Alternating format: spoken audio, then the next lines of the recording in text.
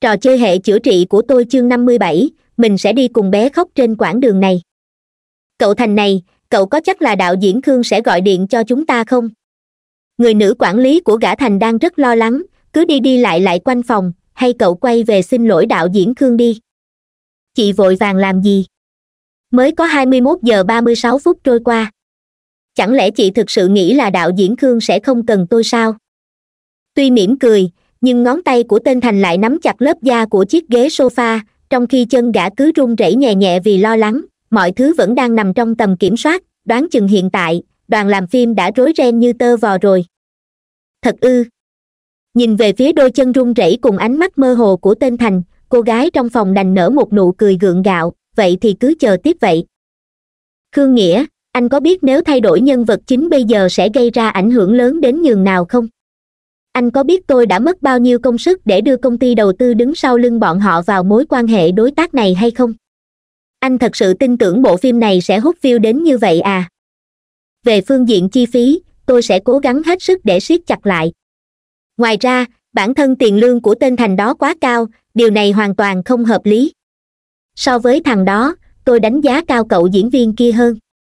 Anh đừng lặp đi lặp lại mấy điều này nữa thời gian bấm máy có thể lùi lại ba ngày sau. Trên thực tế, tôi nghĩ anh cũng cần phải bình tĩnh lại đấy. Sau khi nói xong, chị long cúp máy, chỉ còn lại mỗi đạo diễn khương và hai nhà biên kịch trong căn phòng nồng nặc khói thuốc lá. Đạo diễn, thế có sửa lại kịch bản nữa không? Một trong hai người biên kịch lấy một chiếc mũ ra, đội lên đỉnh đầu hói gần sạch tóc của mình. Mọi người cũng vất vả mấy ngày nay rồi, tạm thời nghỉ ngơi ít bữa đi. Đạo diễn khương mồi một điếu thuốc sau đó đóng cửa, tự giam mình trong căn phòng nhỏ. Sau khi ra khỏi trường quay, hàng phi bèn đến trò chuyện một hồi với gia đình các nạn nhân. Hắn muốn biết thêm thông tin về những người bạn cùng phòng của mình, để rồi có thể hiểu sâu về họ hơn. Họ là ma quỷ trong mắt người khác, nhưng lại là bạn cùng phòng, sinh hoạt chung một mái nhà với hàng phi. Hiện tại, hắn đang sử dụng những trải nghiệm và ký ức trong quá khứ của nạn nhân để dần đong đầy nhân tính bên trong những bóng quỷ hư vô mờ mịt ấy họ không thể quay trở về nữa, nhưng mình sẽ gửi gắm tình yêu và nỗi nhớ của mọi người đến họ. Trong lúc hàng phi ngồi cùng gia đình các nạn nhân và nghe họ kể về quá khứ, một cảm giác lạ lẫm chợt xuất hiện trong lòng hắn. Dường như có một sợi dây nối liền giữa trò chơi âm phủ nặng nề, kinh khủng kia và thế giới hiện thực ấm áp này vậy. Sợi dây đó có thể xuyên qua sự sống, cái chết và cả thời gian, kết nối người đi và kẻ ở lại với nhau đôi khi, hàng phi cũng từng suy nghĩ xem, liệu cái trò cuộc sống hoàn hảo mà mình đang chơi có mang một tầng nghĩa sâu xa nào hay không nữa. Khoảng năm giờ chiều, khi đang định tạm biệt gia đình các nạn nhân, hàng phi bất ngờ nhận được cuộc gọi của lệ tuyết. Sau khi tránh mặt mọi người, hắn bèn nhấn nút nghe. Bên chị tìm ra manh mối từ phía mạnh trường an rồi à. Không liên quan gì đến mạnh trường an cả. Khi điều tra sâu hơn, chúng tôi càng ngày càng tìm ra nhiều manh mối nhưng những manh mối này đều chỉ về hướng của mạnh trường hỷ mà thôi. Giọng nói của lệ tuyết vẫn vang lên từ loa điện thoại, đã có kết quả báo cáo kiểm tra ngôi nhà đen trong khu rừng sinh thái kia. Chúng tôi đã tìm thấy vết tích của hai người, một là hạ thủ nghiệp và người kia là mạnh trường hỷ. Ngoài ra, chúng tôi đã tìm thấy một video dự phòng trích xuất từ camera giám sát đường xá cách đây vài năm. Trong video đó bên cảnh sát đã phát hiện bóng dáng của mạnh trường hỷ ở khu vực gần với một con đường xảy ra tai nạn giao thông, mà nạn nhân của vụ tai nạn xe ấy chính là hạ thủ nghiệp. Bây giờ, chúng tôi nghi ngờ rằng nạn nhân hạ thủ nghiệp không chết vì vụ tai nạn giao thông, mà do mạnh trường hỷ mưu sát. Mạnh trường hỷ giết hạ thủ nghiệp ư? Hàng phi chuyển cuộc gọi hiện tại thành chế độ chạy nền, sau đó mở sơ đồ mối quan hệ giữa các nạn nhân do tự tay hắn vẽ ra, tại sao gã lại giết hạ thủ nghiệp? Rất có thể là để bịt đầu mối. Cả mạnh trường hỷ và hạ thủ nghiệp đều là hung thủ. Họ liên lạc với nhau bằng một cách nào đó rồi thực hiện hành vi gây án chéo, người này giết chết mục tiêu mà người còn lại muốn giết. Và vì không để mình bị bại lộ thân phận, mạnh trường hỷ quyết định giết luôn hạ thủ nghiệp. Liệu có khả năng là ai đó vô oan cho mạnh trường hỷ hay không? Không loại trừ khả năng này, và chính vì lý do này mà chúng tôi không phát lệnh truy nã đối với mạnh trường hỷ giọng nói của lệ tuyết chợt thay đổi âm điệu, để tìm ra hung thu thực sự của vụ chặt thay ghép xác, chúng tôi đã tra tất tần tật mọi thông tin từ bé đến lớn của hạ thủ nghiệp và mạnh trường hỷ. Khả năng ngụy trang của mạnh trường hỷ rất tốt, nhưng gã hạ thủ nghiệp kia thực sự là một tên cặn bã. Kẻ đó không phải dân địa phương, đã lấy vợ và sinh con ở quê nhà. Chúng tôi đến thăm hàng xóm cũ của gã, còn tìm ra vợ cũ của gã sau rất nhiều cố gắng. Vợ cũ à đúng vậy hạ thủ nghiệp trước khi kết hôn rất trung thực. Nhưng sau khi kết hôn, gã dần bộc lộ ra một kiểu tính tình khác, bao gồm bạo lực gia đình và nhiều sở thích biến thái. Lúc đầu, hạ thủ nghiệp còn cố gắng kìm nén bản thân, mãi cho đến khi hạ vũ hòe chào đời. Do đứa bé này mắc bệnh bẩm sinh nên thái độ của hạ thủ nghiệp đối với mẹ con bọn họ ngày càng tệ hơn. Các hành vi đánh đập, mắng mỏ là chuyện như cơm bữa, rốt cuộc, vợ gã đã bỏ trốn đi vì không thể chịu đựng nổi nữa hạ thủ nghiệp đã từng đe dọa vợ rất nhiều lần, nói rằng nếu bà ấy không ngoan ngoãn quay về thì gã sẽ giết chết hạ vũ hòe. Cuối cùng, vợ gã báo cảnh sát rồi hai vợ chồng ly hôn. Trọng tâm mâu thuẫn giữa hai vợ chồng ấy chính là ngôi nhà. Bên cạnh đó, chẳng có ai trong hai người họ muốn nuôi đứa con mắc bệnh bẩm sinh cả. Tôi nghe hàng xóm cũ của họ nói rằng, đứa trẻ ấy rất đáng thương. Nó không có bạn bè gì hết, còn bị nhốt suốt trong nhà. Hàng ngày nó phải sống trong nỗi sợ hãi, trở thành nơi trút giận của bố mẹ ruột mình. Trong ngôi nhà đó, người xung quanh luôn luôn nghe được tiếng khóc của trẻ con liên tục, chưa từng đứt đoạn một ngày nào. Không những thế, mấy người hàng xóm còn nghe rõ một một tiếng quát mắng của gã hạ thủ nghiệp kia, kiểu như, khóc cái gì mà khóc? Mày mà còn khóc nữa, tao bóp chết con mẹ mày ngay. Cũng có thể chính vì căn bệnh bẩm sinh của đứa nhỏ, hạ thủ nghiệp cực kỳ căm ghét đứa con ruột của mình theo lời mấy người hàng xóm, hạ thủ nghiệp vẫn cư xử ở trạng thái bình thường mỗi ngày, nhưng gã ta sẽ phát điên lên mỗi khi nghe tiếng đứa nhỏ ấy khóc. Cuối cùng, tài sản của hai bên cũng được chia đều. Đứa con hạ vũ hòe được tòa án giao cho người mẹ nuôi nấng. Thế nhưng mà, chuyện xảy ra tiếp theo thật khiến người nghe cảm thấy mũi lòng. Người mẹ kia cũng không muốn cưu mang đứa trẻ. Một lần nọ, khi đã đưa hạ vũ hòe đi chơi trò trốn tìm ở một địa phương khá xa rốt cuộc bà ấy đã thật sự bỏ mặt nó, tự mình đi khỏi chốn đó. Mẹ của hạ vũ hòe đột ngột mất tích cùng số tiền của gia đình. Sau khi cảnh sát tìm thấy đứa trẻ đó, họ đành phải gửi nó đến nơi ở của hạ thủ nghiệp. Chắc cậu cũng biết chuyện xảy ra tiếp theo rồi. Con của một đại gia nào đó tại thành phố tân hổ mắc bệnh thận. Và khi nào hạ thủ nghiệp biết quả thận của con mình hoàn toàn khớp với quả thận của bệnh nhân kia, gã lập tức lén lút ký một bản thỏa thuận nào đó với người đại gia kia bi kịch ban đầu của vụ việc này bắt nguồn từ đứa trẻ đó. Nếu một trong những người thân của nó có thể dành cho nó một chút tình yêu thương và sẵn sàng chấp nhận nó, hẳn là sẽ không xảy ra những bi kịch tiếp theo như chúng ta đã biết đâu. Lệ tuyết đã nói rất nhiều. Và sau khi hàng phi nghe xong, chẳng hiểu vì lý do gì mà hình bóng của thằng nhóc khóc trong trò chơi cuộc sống hoàn hảo lại hiện lên trong đầu hắn. Đứa trẻ sống ở căn hộ tầng dưới kia luôn đứng lẻ loi một mình bên cạnh bàn thờ đó là một bóng đen với khuôn mặt mơ hồ, không có bất cứ một người bạn nào, vừa khóc vừa chơi một trò trốn tìm vô tận cùng với những đứa trẻ khác. Có lẽ mình nên đi cùng nó trên quãng đường này, hàng phi thầm lẩm bẩm cái tên hạ vũ hòe, đêm nay, hắn chuẩn bị đi gặp gỡ đứa trẻ tên là khóc ấy. Một kẻ vô cùng căm ghét con nít như hạ thủ nghiệp, ấy vậy mà sau này lại trở thành viện trưởng của viện cô nhi. Bản thân gã ta còn tự bỏ một lượng tiền khổng lồ để nuôi dưỡng những đứa trẻ bị bỏ rơi và cô nhi vốn dĩ điều này đã là một việc cực kỳ bất thường và đáng sợ.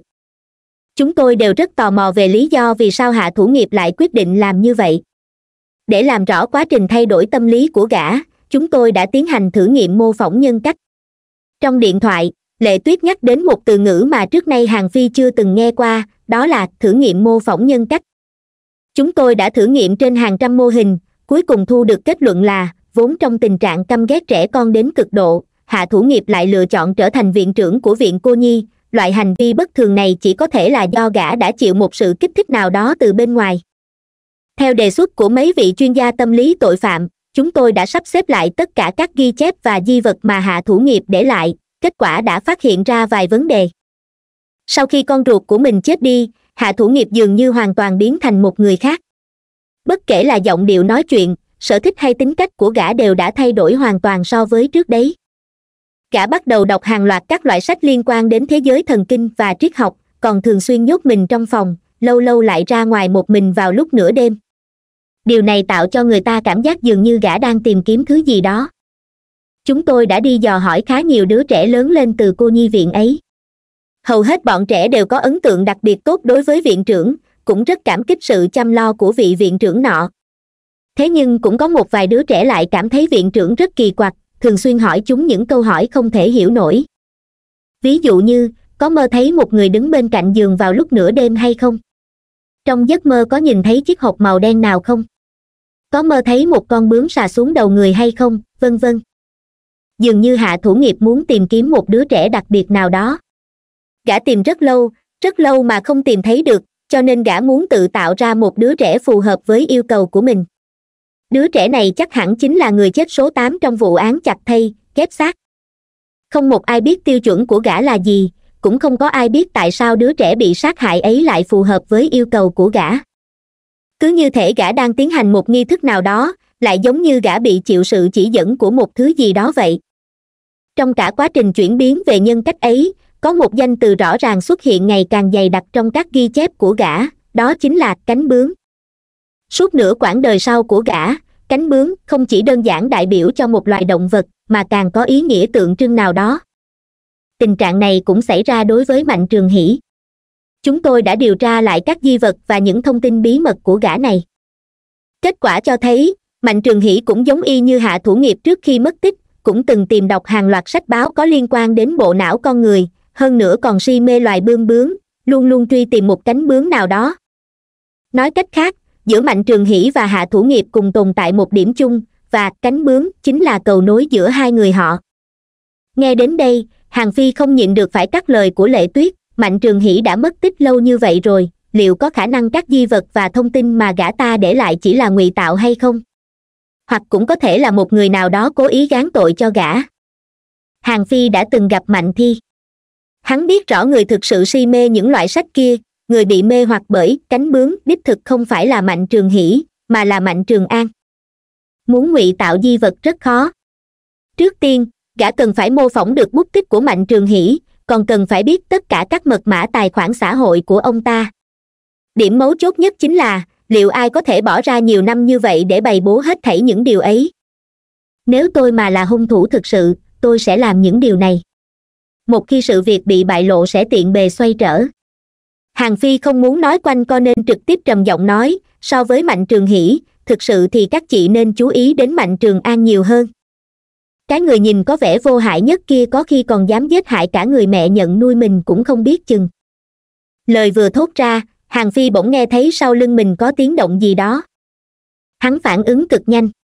Song cho dù là vậy, khi hắn quay đầu lại nhìn thì chỉ phát hiện một chai đồ uống đang lăn lông lốc ngay ngã rẽ của khu phố cổ mà thôi có người ư. Công sức đọc sách mấy ngày nay của hàng phi chẳng phải là công cốc. Tuy vẻ mặt không hề thay đổi gì cả, song hắn lại nói ngay vào trong điện thoại, lệ tuyết, hình như có người đang theo dõi tôi. Xem chừng, hắn đã nghe được những điều tôi nói rồi. Bây giờ cậu đang ở chỗ nào? Trước cửa trường quay bộ phim hoa tội ác, kể cả mấy người thân của các nạn nhân trong vụ án chặt thây ghép xác cũng đều đang ở đây. Cậu tạm thời đừng về nhà vội đến thẳng trung tâm thương mại tân thiên địa ở phố bắc đi. Nơi đó đông người, tôi cũng lập tức qua đó ngay.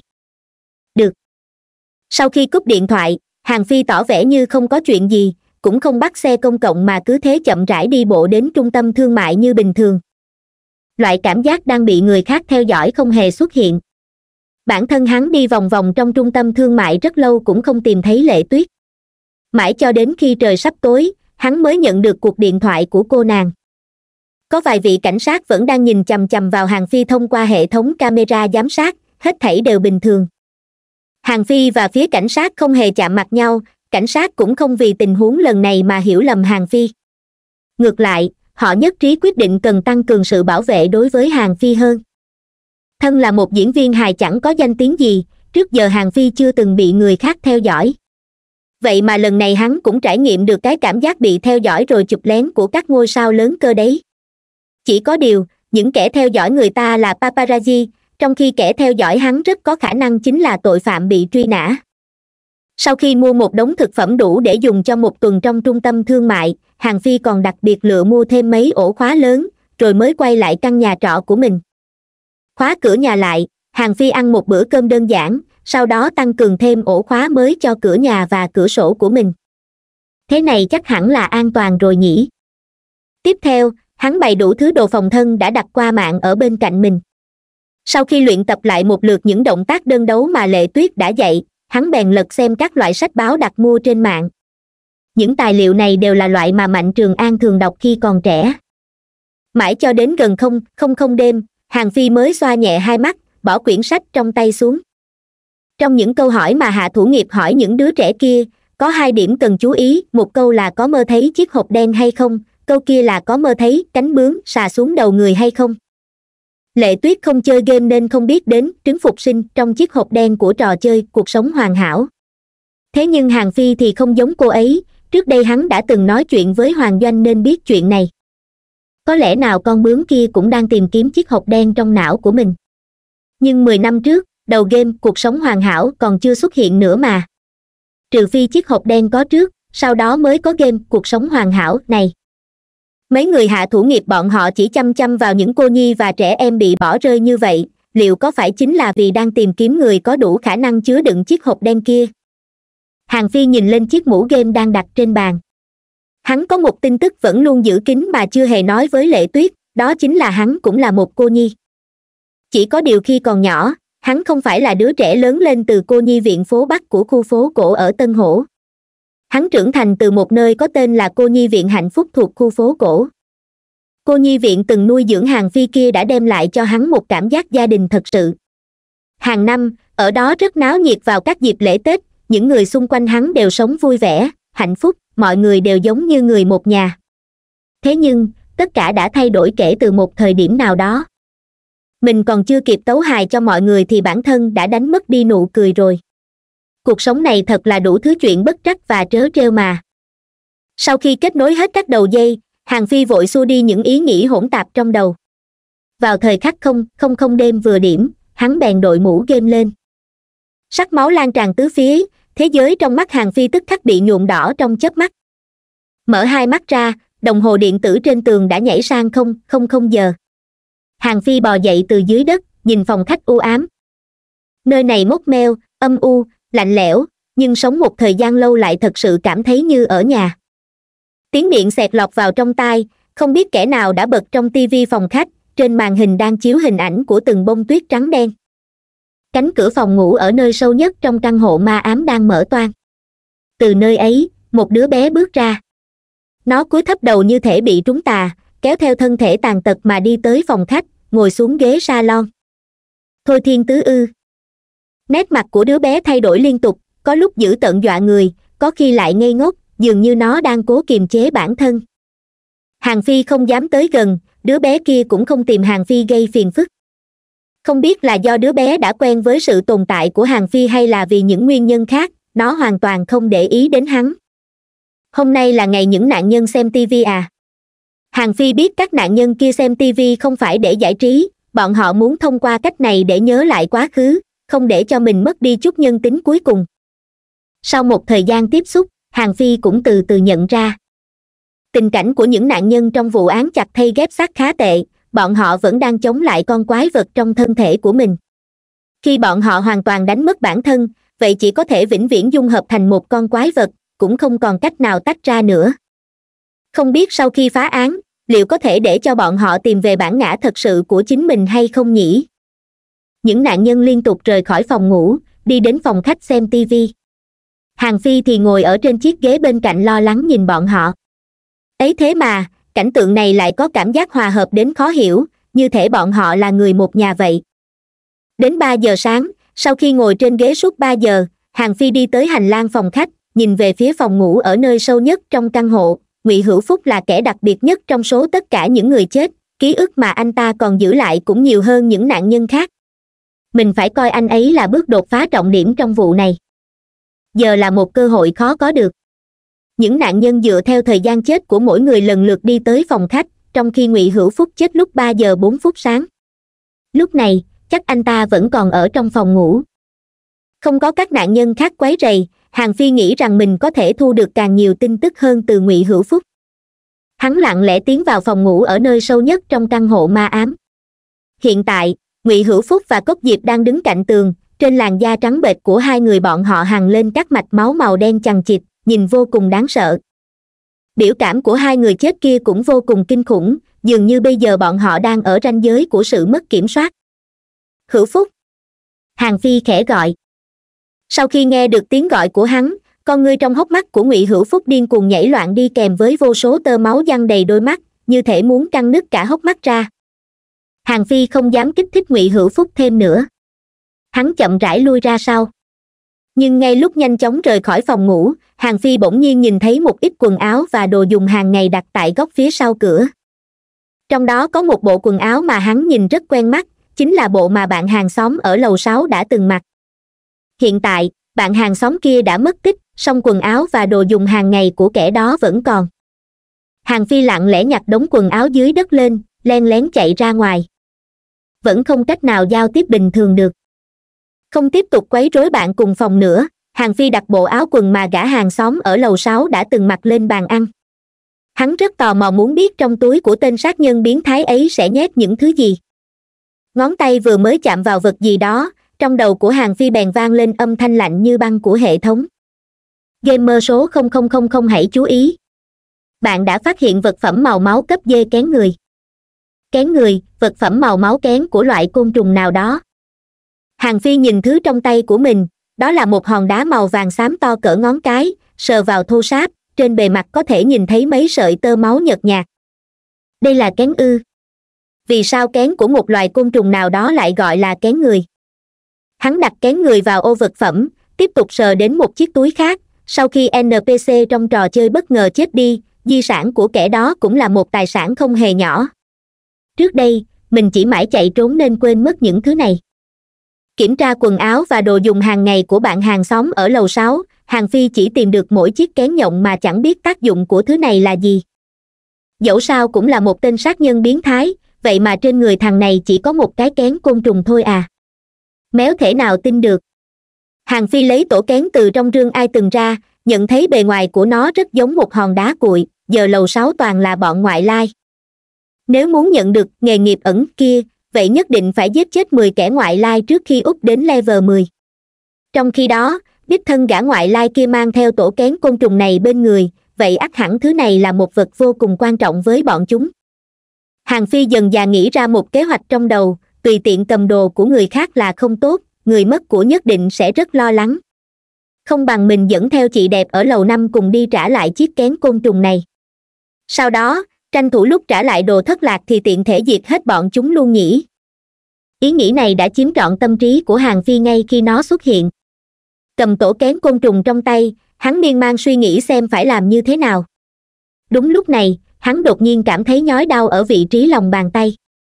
Nhìn vào lòng bàn tay mình, hàng phi phát hiện phía dưới tổ kén côn trùng trông giống như một hòn đá kia lại có từng mũi gai nhọn li ti bé xíu. Những mũi gai nhọn ấy đã đâm thủng da tay bắt đầu hút máu của hắn. Thứ này còn biết hút máu à? Hàng phi suýt nữa quẳng cái tổ kén trong tay đi. Sau khi hắn phát hiện tổ kén côn trùng kia đang hút máu của mình, mấy đường tơ máu trên lớp vỏ ngoài của cũng trở nên sẫm màu hơn. Mình ghét côn trùng, tốt hơn hết là trả lại cho người mất. Thu tổ kén trở lại ô vật phẩm, hàng phi cầm quần áo và đồ dùng hàng ngày của hàng xóm lầu sáu đi tới cửa phòng, nhiệm vụ chính tuyến thăm dò tầng năm lần trước vẫn chưa được hoàn thành lần này vừa hay nhân cơ hội đi thăm từ cầm, mình sẽ hoàn thành luôn nhiệm vụ này vậy. Sau khi trải qua nhiệm vụ, không được quay đầu lại, lần trước, dãy hành lang bên ngoài đã để lại bóng ma tâm lý trong lòng hàng phi. Giờ mỗi lần ra khỏi cửa, hắn đều phải quan sát thật kỹ. Rất yên tĩnh, xung quanh không có ai.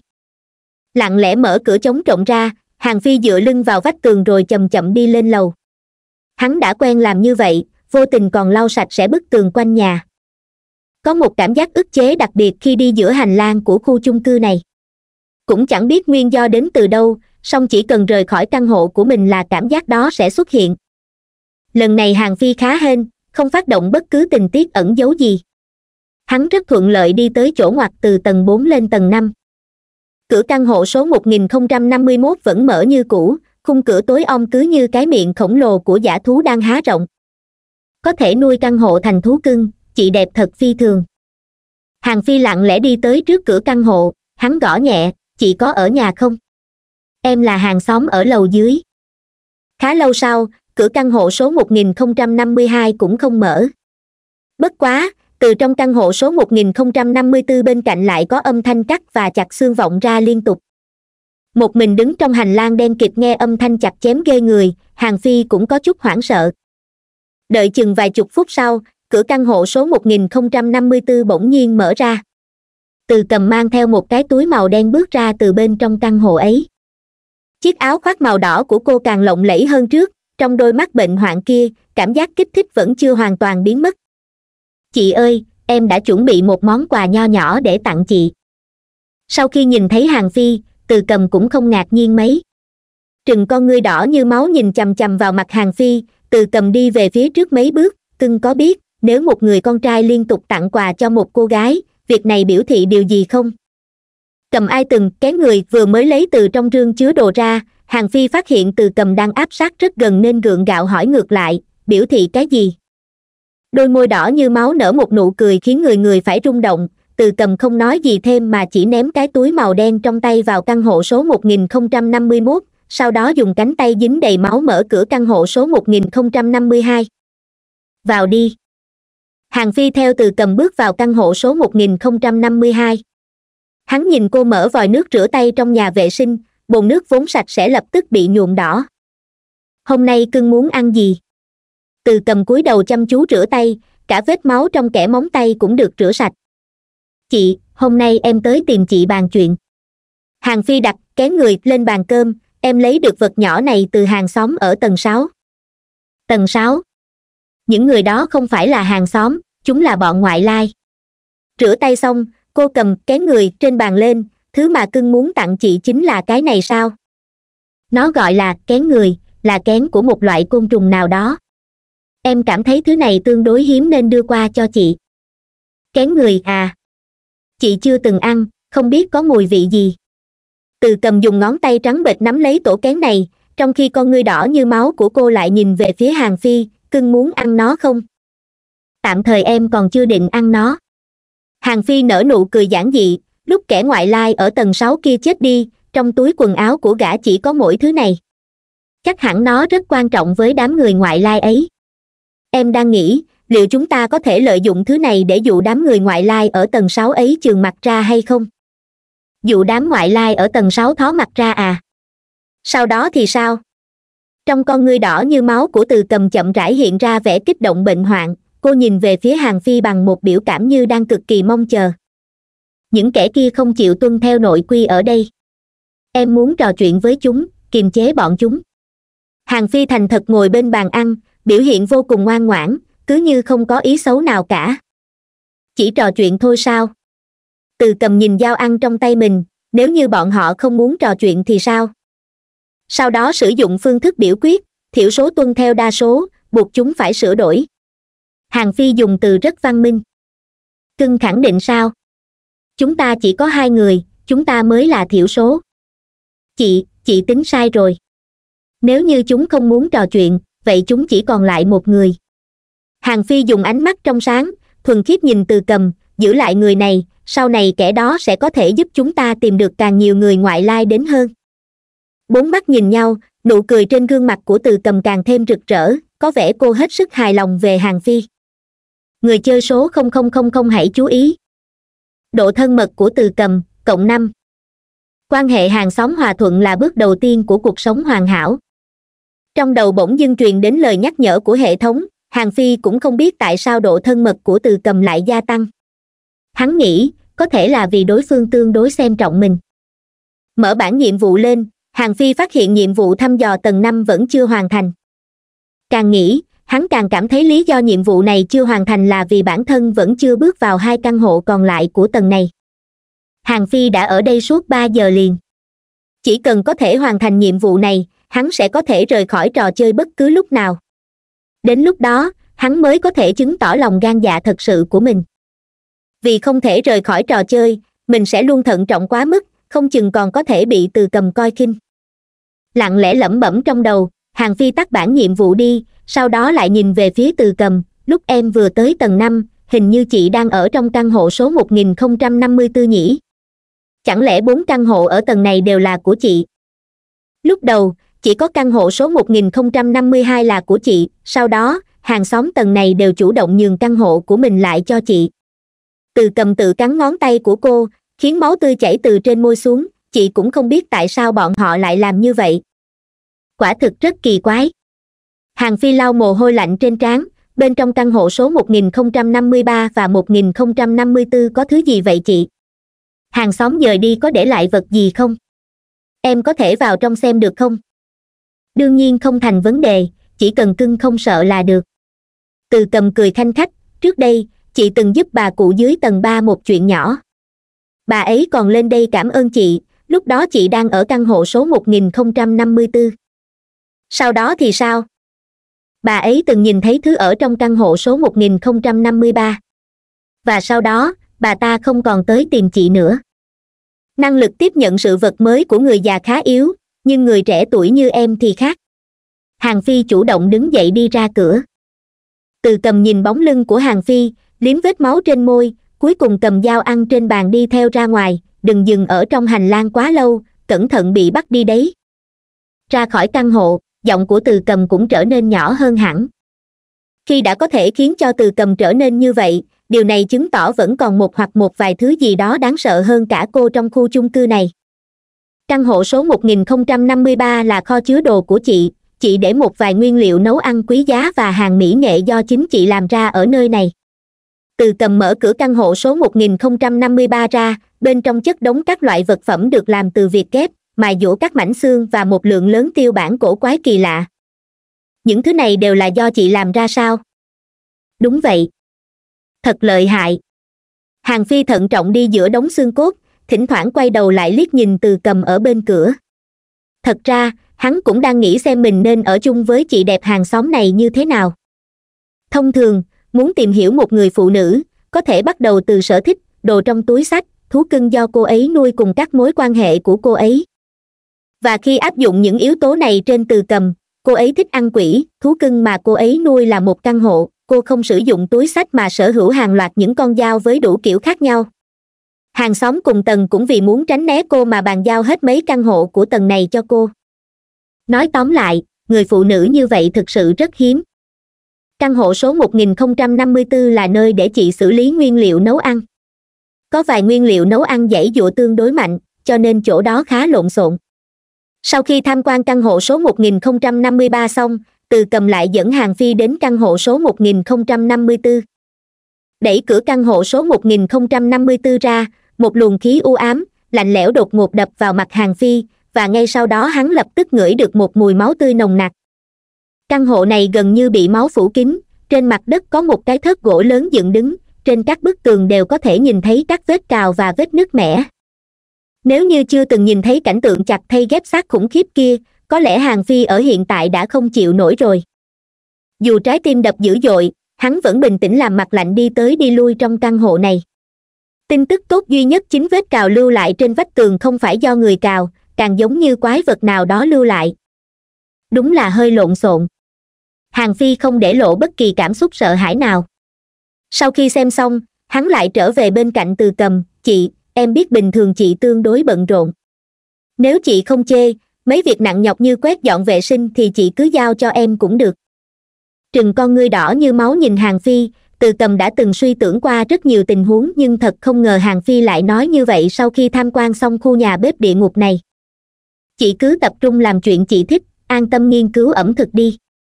Tay của chị bẩm sinh là dùng để nấu ăn, sau này mấy việc vặt cứ để cho em làm hàng phi nói như vậy là muốn rút ngắn quan hệ với từ cầm, nhằm tiện cho sau này ăn được đồ ăn cao cấp hơn do từ cầm nấu, không chừng còn có thể gia tăng thuộc tính của bản thân. Nhưng hắn không ngờ sau khi nói ra những điều này, đôi mắt bệnh hoạn đỏ như máu của từ cầm hoàn toàn dán chặt vào người hắn. Trước kia dường như cũng có một người đã nói như vậy, nhưng kẻ đó đã lừa chị. Từ cầm cắn ngón tay của mình, nhìn con dao dính đầy máu, sau này không còn thấy kẻ đó nữa, kẻ đó trốn đâu rồi sao chị nghĩ mãi cũng nghĩ không ra nhỉ? Người chơi số không không không không hãy chú ý. Bạn đã thành công thăm dò tất cả các căn hộ ở tầng năm. Nhiệm vụ cấp d, thăm dò tầng năm, đã hoàn thành. Điểm kỹ năng tự do, cộng một. Độ thân mật của từ cầm, cộng hai mươi. Những giọt máu đỏ tươi chảy xuống từ khóe môi của từ cầm. Cô cắn ngón tay đến bật máu nhưng lại không hề cảm thấy đau đớn câu nói của hàng phi hình như kích thích ký ức sâu nhất trong tâm trí của từ cầm, khiến nét mặt cô càng thêm bệnh hoạn và điên cuồng. Nhìn chằm chằm gương mặt của từ cầm trong giờ phút này, nghe cô ấy không ngừng lặp lại một câu nói, hàng phi đột nhiên cảm thấy cái tên từ cầm quen quen. Hắn cẩn thận nhớ lại, trong lúc tìm kiếm tin tức có liên quan đến vụ án giết người ghép xác, hắn vô tình nhìn thấy một vụ án khác cách đây mười năm giám đốc phụ trách thí nghiệm lâm sàng tân dược của vĩnh sinh pharmaceutical bị em trai ruột giết bằng thuốc độc, và tên của vị giám đốc này chính là từ cầm. Chị và em trai sống nương tựa vào nhau từ khi còn nhỏ, để chăm sóc cho em trai còn thơ dại, chị gái vẫn chưa lấy chồng, cô dành hết tâm sức cho công việc. Hàng xóm đều cho rằng quan hệ giữa hai chị em rất thân thiết, ai ngờ cuối cùng em trai lại hạ độc chị của mình. Cách thức gây án rất vụng về nhưng tiếc thay người chị chưa bao giờ nghi ngờ em trai của mình nên đã ăn sạch đồ ăn trên bàn. Vụ án đã được phá cách đây mười năm, chị gái chết và em trai bị kết án tử hình. Trong khu phố cổ ở thành phố tân hổ nơi hai chị em từng sống còn lưu truyền một câu chuyện ma quái rất nổi danh. Kể rằng, chỉ cần mang đồ ăn đến căn nhà ở phố bắc thì có thể gặp phải một người đàn bà điên cầm dao ăn, cô ta vừa ho ra máu, vừa khóc, sau đó ăn ngấu nghiến đồ ăn lẫn người mang đồ ăn hai người phụ nữ tên từ cầm này là cùng một người sao? Hàng phi cũng đang nhìn người phụ nữ ở trước mặt. Hắn còn nhớ rõ từ cầm từng nói một câu, cái tên mà gần đây nhất cô sử dụng là từ cầm. Người phụ nữ ở căn hộ số 1052 này chưa chắc đã là từ cầm nhưng cô lại có rất nhiều ký ức. Đây là một cơ thể tụ hợp nguyền rủa, mà từ cầm chỉ là một trong số đó. Chị ơi, chị làm sao vậy? Hàng phi không vì người phụ nữ đang phát cuồng mà sợ hãi hắn chủ động nhích lại gần, nếu như chị thấy không khỏe, cứ về phòng trước. Em sẽ dụ mấy kẻ ở tầng sáu ra ngoài. Mục tiêu thật sự của tối nay là bọn ngoại lai trên tầng sáu. Hàng phi cũng muốn mượn chuyện này để xoa dịu cảm xúc của từ cầm. Đôi môi đẫm máu toát lên vẻ đẹp bệnh hoạn, ngón tay trắng bệch của từ cầm vô thức vuốt ve gương mặt, có người đã chạy trốn, chị quên rồi, chị quên chuyện gì đó. Không chừng người kia đang ở tầng sáu, nhưng nếu chị đi cùng em bọn họ sẽ sợ. Nụ cười của hàng phi rất trong sáng thật giống như thiếu niên ngây thơ nhà bên sau này mấy công việc phụ trợ cứ giao cho em. Sau khi có thể rời khỏi trò chơi bất cứ lúc nào hàng phi càng thêm dũng cảm và tự tin. Hắn đưa từ cầm tới căn hộ số 1052, sau đó cầm tổ kén đi lên tầng 6. một mình đi giữa hành lang nụ cười trên mặt hàng phi tắt dần. Hắn cũng rất muốn thật lòng vui cười. Nhưng từ rất lâu trước đây hắn đã mất đi nụ cười của mình. Hắn có khả năng thể hiện đủ kiểu cười, nhưng đều không phải cười vì vui vẻ và hạnh phúc. Chậm rãi di chuyển trong hành lang đen như mực, hàng phi lần đầu tiên tới tầng sáu. Đối với hắn, đây là một đột phá hoàn toàn mới. Quản lý chung cư từng sống ở lầu mười. Trong phòng của ông ta hẳn cất giấu đồ vật vô cùng quan trọng. Nếu mình muốn biết rõ ràng tất cả, phải nghĩ cách đi đến tầng cao nhất mới được. So với những tầng lầu khác tầng sáu rất bừa bộn. Trên hành lang chất đống đủ loại rác rưởi và đồ linh tinh, trên bậc thang còn có chậu hoa vỡ. Bọn ngoại lai này thật hậu đậu. Để chậu hoa trên bậc thang thế này, ngộ nhỡ rơi trúng người thì sao? Hàng phi đi chậm lại. Hắn cúi đầu xuống, định chuyển chậu hoa sang nơi khác, để rồi bỗng nhiên nhìn thấy trong chậu hoa có một sợi dây đỏ đang cuốn lấy cây hoa khô héo kia, đầu sợi dây đỏ còn buộc một chiếc chuông đồng rất nhỏ. Dây đỏ và chuông đồng thứ này có thể trừ tà sao? Chuyển chậu hoa đến sát góc tường, kỳ quái là dù hàng phi chạm vào dây đỏ thế nào đi nữa thì chuông vẫn không kêu, cứ như chuông và dây đỏ không dùng để đề phòng người sống vậy. Cuối cùng đã đến tầng sáu. Đứng ở giữa đống đồ linh tinh, hàng phi nhìn bốn căn hộ ở tầng sáu. Hắn cũng không biết căn hộ nào có người, bèn tùy tiện gõ cửa căn hộ số 1064. có ai trong đó không? Tôi là hàng xóm ở tầng dưới tiếng đập cửa ở trong hành lang vang vọng rất xa nhưng không có ai mở cửa cho hàng phi cả. Không làm chuyện trái lương tâm, không sợ quỷ gõ cửa. Những người này không mở cửa, có thể là trong lòng có quỷ. Nếu là những hàng xóm khác qua đây, bọn họ sẽ có kiên dè, không dám gây ra tiếng động quá lớn vì sợ bản thân trở thành mục tiêu. Nhưng hàng phi thì khác. Lúc mới vào trò chơi, hắn nhát gan gần chết, mỗi một bước đi đều rất cẩn thận, có thể nói là như dẫm trên băng mỏng nhưng sau khi hoàn thành một nhiệm vụ, hắn có thể tự do rời khỏi trò chơi. Vì thế mà trong lòng hắn bèn phát sinh một sự chuyển biến lớn, nôm na chính là không sợ hãi. Trừ phi quỷ có thể theo hắn trở lại hiện thực, bằng không hắn quả thật dám khiêu khích tất cả bọn ma quỷ ở nơi này. Dù bạn không mở cửa thì tôi vẫn đập, tôi biết bạn ở nhà, chớ núp ở bên trong không ra. Hành lang càng âm u hơn. Dường như tiếng đập cửa của hàng phi đã làm cho khu chung cư này xảy ra một sự biến hóa nào đó cứ như một thứ gì đó vốn đang ngủ say đang dần dần tỉnh lại. Hàng xóm ở tầng sáu giờ chắc đều đang rất căng thẳng. Bọn họ mong mỏi hàng phi mau rời đi, đáng tiếc hàng phi lại giống như kẻ liều mạng, lỗ mãn vẫn đứng ở bên ngoài gõ cửa. Thật ra, hàng phi cũng đang thấp thỏm không yên. Hắn vừa nhìn vào chiếc nhẫn của người chủ nhà, vừa vểnh tai áp sát cánh cửa nghe ngóng. Không lâu sau, trong căn hộ số 1064 truyền ra âm thanh rất nhỏ nhờ đó mà có thể khẳng định bên trong có người. Sau khi nghe âm thanh phát ra từ trong căn hộ số 1064, hàng phi chợt giống như cá mập ngửi thấy mùi máu tươi vậy. Hắn quyết tâm chọc cho đối phương trường mặt ra thế là thực hiện hành vi càng thêm cuồng loạn hơn. Chào bạn hàng xóm trong căn hộ số 1064. tôi biết bạn đang ở nhà. Tôi đã bắt gặp một thành viên trong các bạn. Gã đó có một vật nhờ tôi mang lên cho các bạn đây chủ hộ số 1064 ơi có ai ở nhà không? Đống rác trong hành lang này là do các bạn xả sao? Vì sao trên đó còn có vết máu và dây đỏ vậy? Từng câu từng chữ của hàng phi đều dính tới căn hộ số 1064, người trong phòng bây giờ hắn là nôn nóng đến phát khóc. Nếu cứ tiếp tục như vậy toàn bộ lệ quỷ và quái vật trong tầng 6 đều sẽ nhớ kỹ con số này muốn nhẫn nhịn mà sống cũng rất khó chủ hộ căn số 1064, mời anh mở cửa ra gặp tôi nào. Giao lưu tí đi. Hay các bạn cũng không muốn mỗi đêm tôi đều chạy tới gõ cửa chứ? Những lời cuối cùng này của hàng phi dường như đã dọa được đối phương. Ngộ nhỡ có một người điên như vậy cứ ba giờ đến bốn giờ sáng mỗi ngày đều chạy tới đây gõ cửa vậy khẳng định sẽ có phiền phức lớn. Tay nắm cửa xoay nhẹ cửa chống rộng được mở ra một cái khe nhỏ, một con mắt đầy tơ máu có vẻ mệt mỏi và phẫn nộ nhìn về phía hàng phi, con mẹ mi bị bệnh hả? Anh bạn này, sao lại nói như vậy? Tôi tới để làm việc tốt, có phải các bạn có một người nhà bị mất tích hay không? Hàng phi không mang theo dao kéo gì, bản thân hắn lại cho người ta cảm giác rất ẻo lả yếu đuối. Gã hàng xóm trên tầng sáu này chỉ coi hắn là một thằng điên không có sức chiến đấu. Không có. Không thể nào người kia nhờ tôi, bảo tôi nhất định phải đem thứ này giao cho mấy hộ gia đình trên tầng sáu. Nói xong, hàng phi lấy từ, kén người, từ trong túi áo ra. Sau khi hàng phi lấy, kén người ra, ánh mắt của người ở trong căn hộ số 1064 hoàn toàn bị thứ này hấp dẫn. Thấy phản ứng của đối phương, hàng phi cố ý thu lại, kén người, ngay trước mặt của gã đó, xem ra, tôi đoán sai rồi. Cậu không đoán sai, kén người, này quả thực là của bạn tôi đưa nó cho tôi ngay.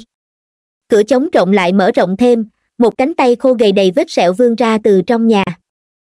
Thì ra đây là kén người. Tôi còn tưởng là cục đá chớ. Hàng phi bèn để kén người vào lại ô vật phẩm sau đó nghi ngờ nhìn khách thuê căn hộ số 1064, không phải anh mới vừa nói nhà anh không có ai mất tích sao? Vậy vật này khẳng định không phải là của anh anh nghĩ dễ gạt tôi lắm hả? Trong mắt của vị khách trọ chợt lóe lên vẻ nguy hiểm chết chóc. Gã rất ít khi đôi co với người khác, nhưng hôm nay lại phá lệ nói rất nhiều, có phải một người phụ nữ để tóc dài cho cậu thứ này đúng không? Cô ấy đã bị hủy hoại gương mặt, trên người còn xăm một con bướm mặt người, đúng chứ? Nghe câu hỏi của gã khách trọ, hàng phi rất bối rối.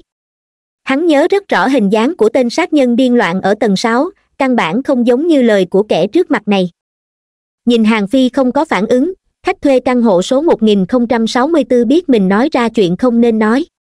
Gã vội sửa lời, nếu như không phải người phụ nữ kia, thì người cho cậu cái kén người này chắc là một người đàn ông với thân hình to khỏe, hôi hám, gần lông mi có vết sẹo.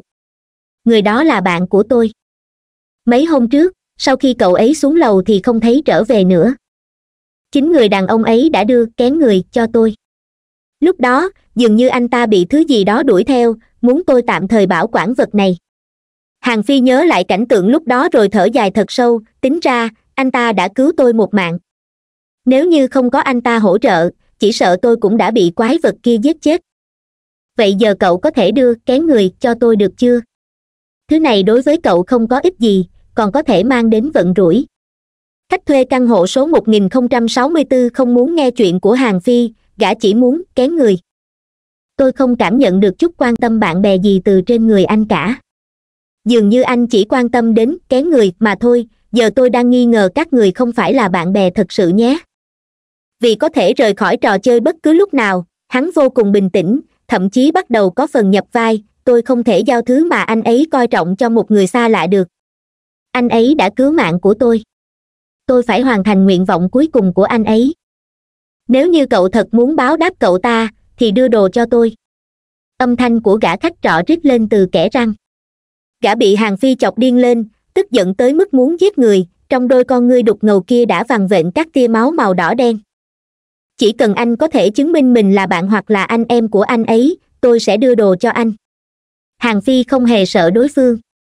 So với chị đẹp tầng năm, khách thuê biến thái trước mắt chỉ như một con chó nhà đang nhe răng dọa người. Con ngươi của người đàn ông chậm rãi chuyển động gã đã nảy sinh ý định giết người, trong phòng của tôi có rất nhiều vật của cậu ta. Nếu cậu không tin thì có thể vào mà xem. Có vật có thể chứng minh sao? Vậy anh còn không mau lấy ra cho tôi. Anh còn bảo tôi đi vào. Đây chính là thái độ cầu người giúp đỡ của anh sao? Hàng phi đứng ở giữa hành lang, giọng của hắn rất lớn, thái độ ngạo mạn, khiến cho mí mắt của người đàn ông nhảy giật liên hồi. Tôi sẽ đi lấy cho cậu người đàn ông biết rõ không thể gạt hàng phi vào nhà. Có giấu đi một biểu cảm ác độc thoáng lóe lên từ ánh mắt, gã trầm giọng nói.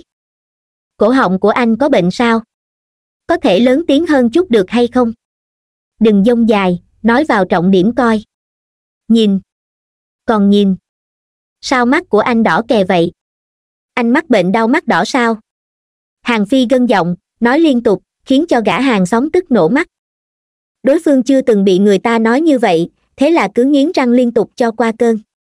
Cánh tay giấu ở phía sau của gã chậm rãi siết chặt, có vẻ như sắp mất khống chế rồi. Lúc này, chắc chắn gã rất muốn đâm một vật gì đó vào tim của hàng phi. Con ngươi đỏ rực nhảy lên trong hốc mắt, bả vai của người đàn ông đang khẽ run. Gã cắn đầu lưỡi của mình, khiến máu chảy ra từ kẽ răng. Nhìn thấy cả hàng xóm lộ ra biểu cảm đáng sợ đến vậy, hàng phi mở ra bản kỹ năng vừa nhìn chằm chằm vào nút thoát đã sáng lên, vừa tiến đến bên cạnh hàng xóm ở tầng sáu rồi nghiêm túc hỏi, có phải anh mắc chứng động kinh hay không? Không thể nhịn được nữa, nhưng ngay lúc người đàn ông định vươn cánh tay giấu ở sau lưng ra, chợt có một người khác ở trong phòng đã đè tay của gã xuống. Một người đàn ông cao gần hai mét bước ra từ toilet trong căn hộ. Gã vẫn trốn ở đó. Nếu lúc nãy mà hàng phi bước vào trong chỉ cần vừa bước vào thì đối phương sẽ lập tức lao ra từ phòng vệ sinh để giết hắn. Lấy bức di ảnh bị nguyền rủa ấy ra đây. Giọng của người đàn ông thân cao gần hai mét cực kỳ âm u và ẻo lả, chỉ nghe thôi cũng làm người ta rất khó chịu. Gã gầy lùn vốn sắp phát điên nhưng chợt không để ý đến hàng phi nữa, chỉ xoay người bước vào trong phòng rồi lấy từ đó ra một tấm ảnh chụp đen trắng. Trong hình, có hơn mười người trưởng thành đang đứng, tuổi của mỗi bọn họ đều không giống nhau trong đó phần lớn đều bị hủy hoại hết khuôn mặt. Chúng tôi đều từng làm việc ở một rạp chiếu phim gần đây. Đây là ảnh chụp chung của chúng tôi, giờ cậu tin rồi chứ? Người đàn ông cao gần hai mét nhìn chằm chằm vào, kén người. Chỉ dựa vào một tấm hình thì vẫn không đủ để tôi tin tưởng các người. Hàng phi lấy, kén người, từ ô vật phẩm ra. Hắn cứ như là đang cố ý đùa với lửa với hai ngón tay nắm chặt, kén người, không ngừng kích thích khách thuê căn hộ số 1064. Kén người đang ở trước mắt, con mắt của hai kẻ ngoại lai cũng từng bước bị tơ máu giăng kín. Người anh em này đã cứu tôi một mạng. Tôi phải phải giúp anh ấy hoàn thành tâm nguyện cuối cùng. Mặc dù thứ này vô dụng đối với tôi, nhưng tôi sẽ vì anh ấy tìm được chủ nhân chân chính. Nhìn ra được, cậu rất trọng tình nghĩa. Hàng Phi còn chưa dứt lời đã bị người đàn ông cao lớn cắt ngang, người anh em của tôi nếu đồng ý giao thứ này cho cậu vậy chứng tỏ cậu đã được nó công nhận cậu là bạn của bạn tôi, vậy cũng là bạn của tôi. Giọng nói ẻo lả nghe như rắn độc thè lưỡi bên tai, người đàn ông kia chậm rãi vươn tay ra khỏi căn hộ, tôi chưa từng nhìn thấy cậu, chắc cậu mới dọn tới. Đúng thế. Tầng lầu này rất nguy hiểm, có thêm bạn bè cũng có thể giúp đỡ lẫn nhau. Người đàn ông đưa bàn tay đến trước mặt của hàng phi, có vẻ muốn nắm tay với hàng phi, tôi tên là trùng lâu, còn cậu? Tôi tên. Hàng phi vừa định đưa tay lên người đàn ông cao gần hai mét lập tức tăng tốc, duỗi tay muốn bắt lấy hàng phi. Cũng trong lúc đó, gã gầy lùn cũng chìa cánh tay giấu ở sau lưng ra, trong tay của gã vẫn đang cầm một con dao. Hai kẻ biến thái này vốn không hề định thả hàng phi đi. Hai người bọn chúng đồng thời hành động, muốn đâm chết hắn ngay khi tóm được. Động tác của cả hai vô cùng nhanh và bất ngờ, nhưng hàng phi đã sớm đề phòng. Từ lúc bắt đầu, hắn đã không hề tin tưởng đối phương, chỉ đang diễn trò mà thôi hiệu quả tích cực sau khi tăng toàn bộ điểm thuộc tính vào thể lực cũng xuất hiện, tốc độ phản ứng của hàng phi tăng lên rất nhiều. Hắn gạt tay của đối phương, sau đó chạy vụt xuống dưới lầu. Bắt hắn lại. Vì lấy được cái người, khách thuê căn hộ số 1064 đuổi theo sát sau lưng hàng phi. Nhiệt độ trong hành lang không ngừng giảm xuống. Bọn họ gây ra tiếng động quá lớn, hình như đã thu hút thứ càng quỷ dị hơn. Hàng phi chạy ở phía trước cả gầy lùn cầm dao bám sát phía sau. Bọn họ nhanh chóng đi tới tầng năm. Gã gầy lùn dường như có phần sợ hãi nên giảm tốc độ lại. Mãi đến khi thấy hàng phi bình yên đi tới tầng năm gã mới bắt đầu tăng tốc. Ngũ quan vặn vẹo gã cười âm hiểm khiếp người mày trốn không thoát đâu.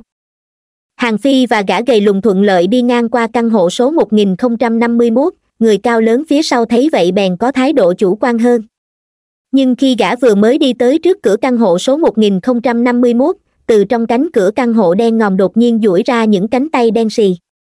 Những cánh tay vô hình này muốn kéo gã vào căn hộ số 1051, nhìn thấy đồng bọn bị bắt gã gầy lùn cũng dừng lại. Gã cảm thấy không ổn muốn chạy về tầng 6, nhưng cửa căn hộ số 1052 phía sau gã vào lúc này bỗng mở ra. Màu máu hiện lên hai con dao ăn dính đầy máu đâm vào xương sườn của gã gầy yếu rồi xuyên luôn qua ngực. Không đợi gã gầy lùn hét thảm, hàng phi lập tức nhào tới bịt miệng của đối phương. Cảnh tượng kế tiếp rất tàn nhẫn điên cuồng, từ cầm nhanh chóng xử lý xong gã gầy lùn, trong khi căn hộ số 1051 cũng thành công nuốt chửng trùng lâu. Từ cầm tiện tay đóng cửa phòng, sau đó nhìn thoáng qua tầng trên. Cô và hàng phi đều nghe thấy một tiếng bước chân khá kỳ quái có vẻ như đó là một người đang nhảy xuống từng bậc thang, song tốc độ nhảy của đối phương càng lúc càng nhanh. Vào nhà nhanh lên. Từ cầm kéo áo của hàng phi, hai người bước vội vào căn hộ số 1052. ngay khi tiếng bước chân kia sắp tới gần, từ cầm bèn đóng cửa lại. Trái tim nhảy loạn liên hồi, chiếc nhẫn trên tay của hàng phi không ngừng tỏa ra cảm giác lạnh lẽo. Hắn có thể cảm nhận được kẻ ở ngoài cửa lúc này vô cùng kinh khủng. Đợi khoảng mười phút sau cảm giác lạnh lẽo này mới dần biến mất. Hắn vừa định thở vào, quay đầu lại thì thấy từ cầm đang dùng đôi con ngươi đỏ như máu kia nhìn hắn, sao lại đi lâu như vậy? Không phải do em, chủ yếu là hàng phi nhìn về phía gã gầy lùn sắp bị phanh thay trên mặt đất, bọn họ muốn làm bạn với em, làm loại bạn bè có thể đối xử chân thành với nhau, giúp bạn không tiếc cả mạng sống đấy. Vậy giờ bọn chúng đã làm được rồi.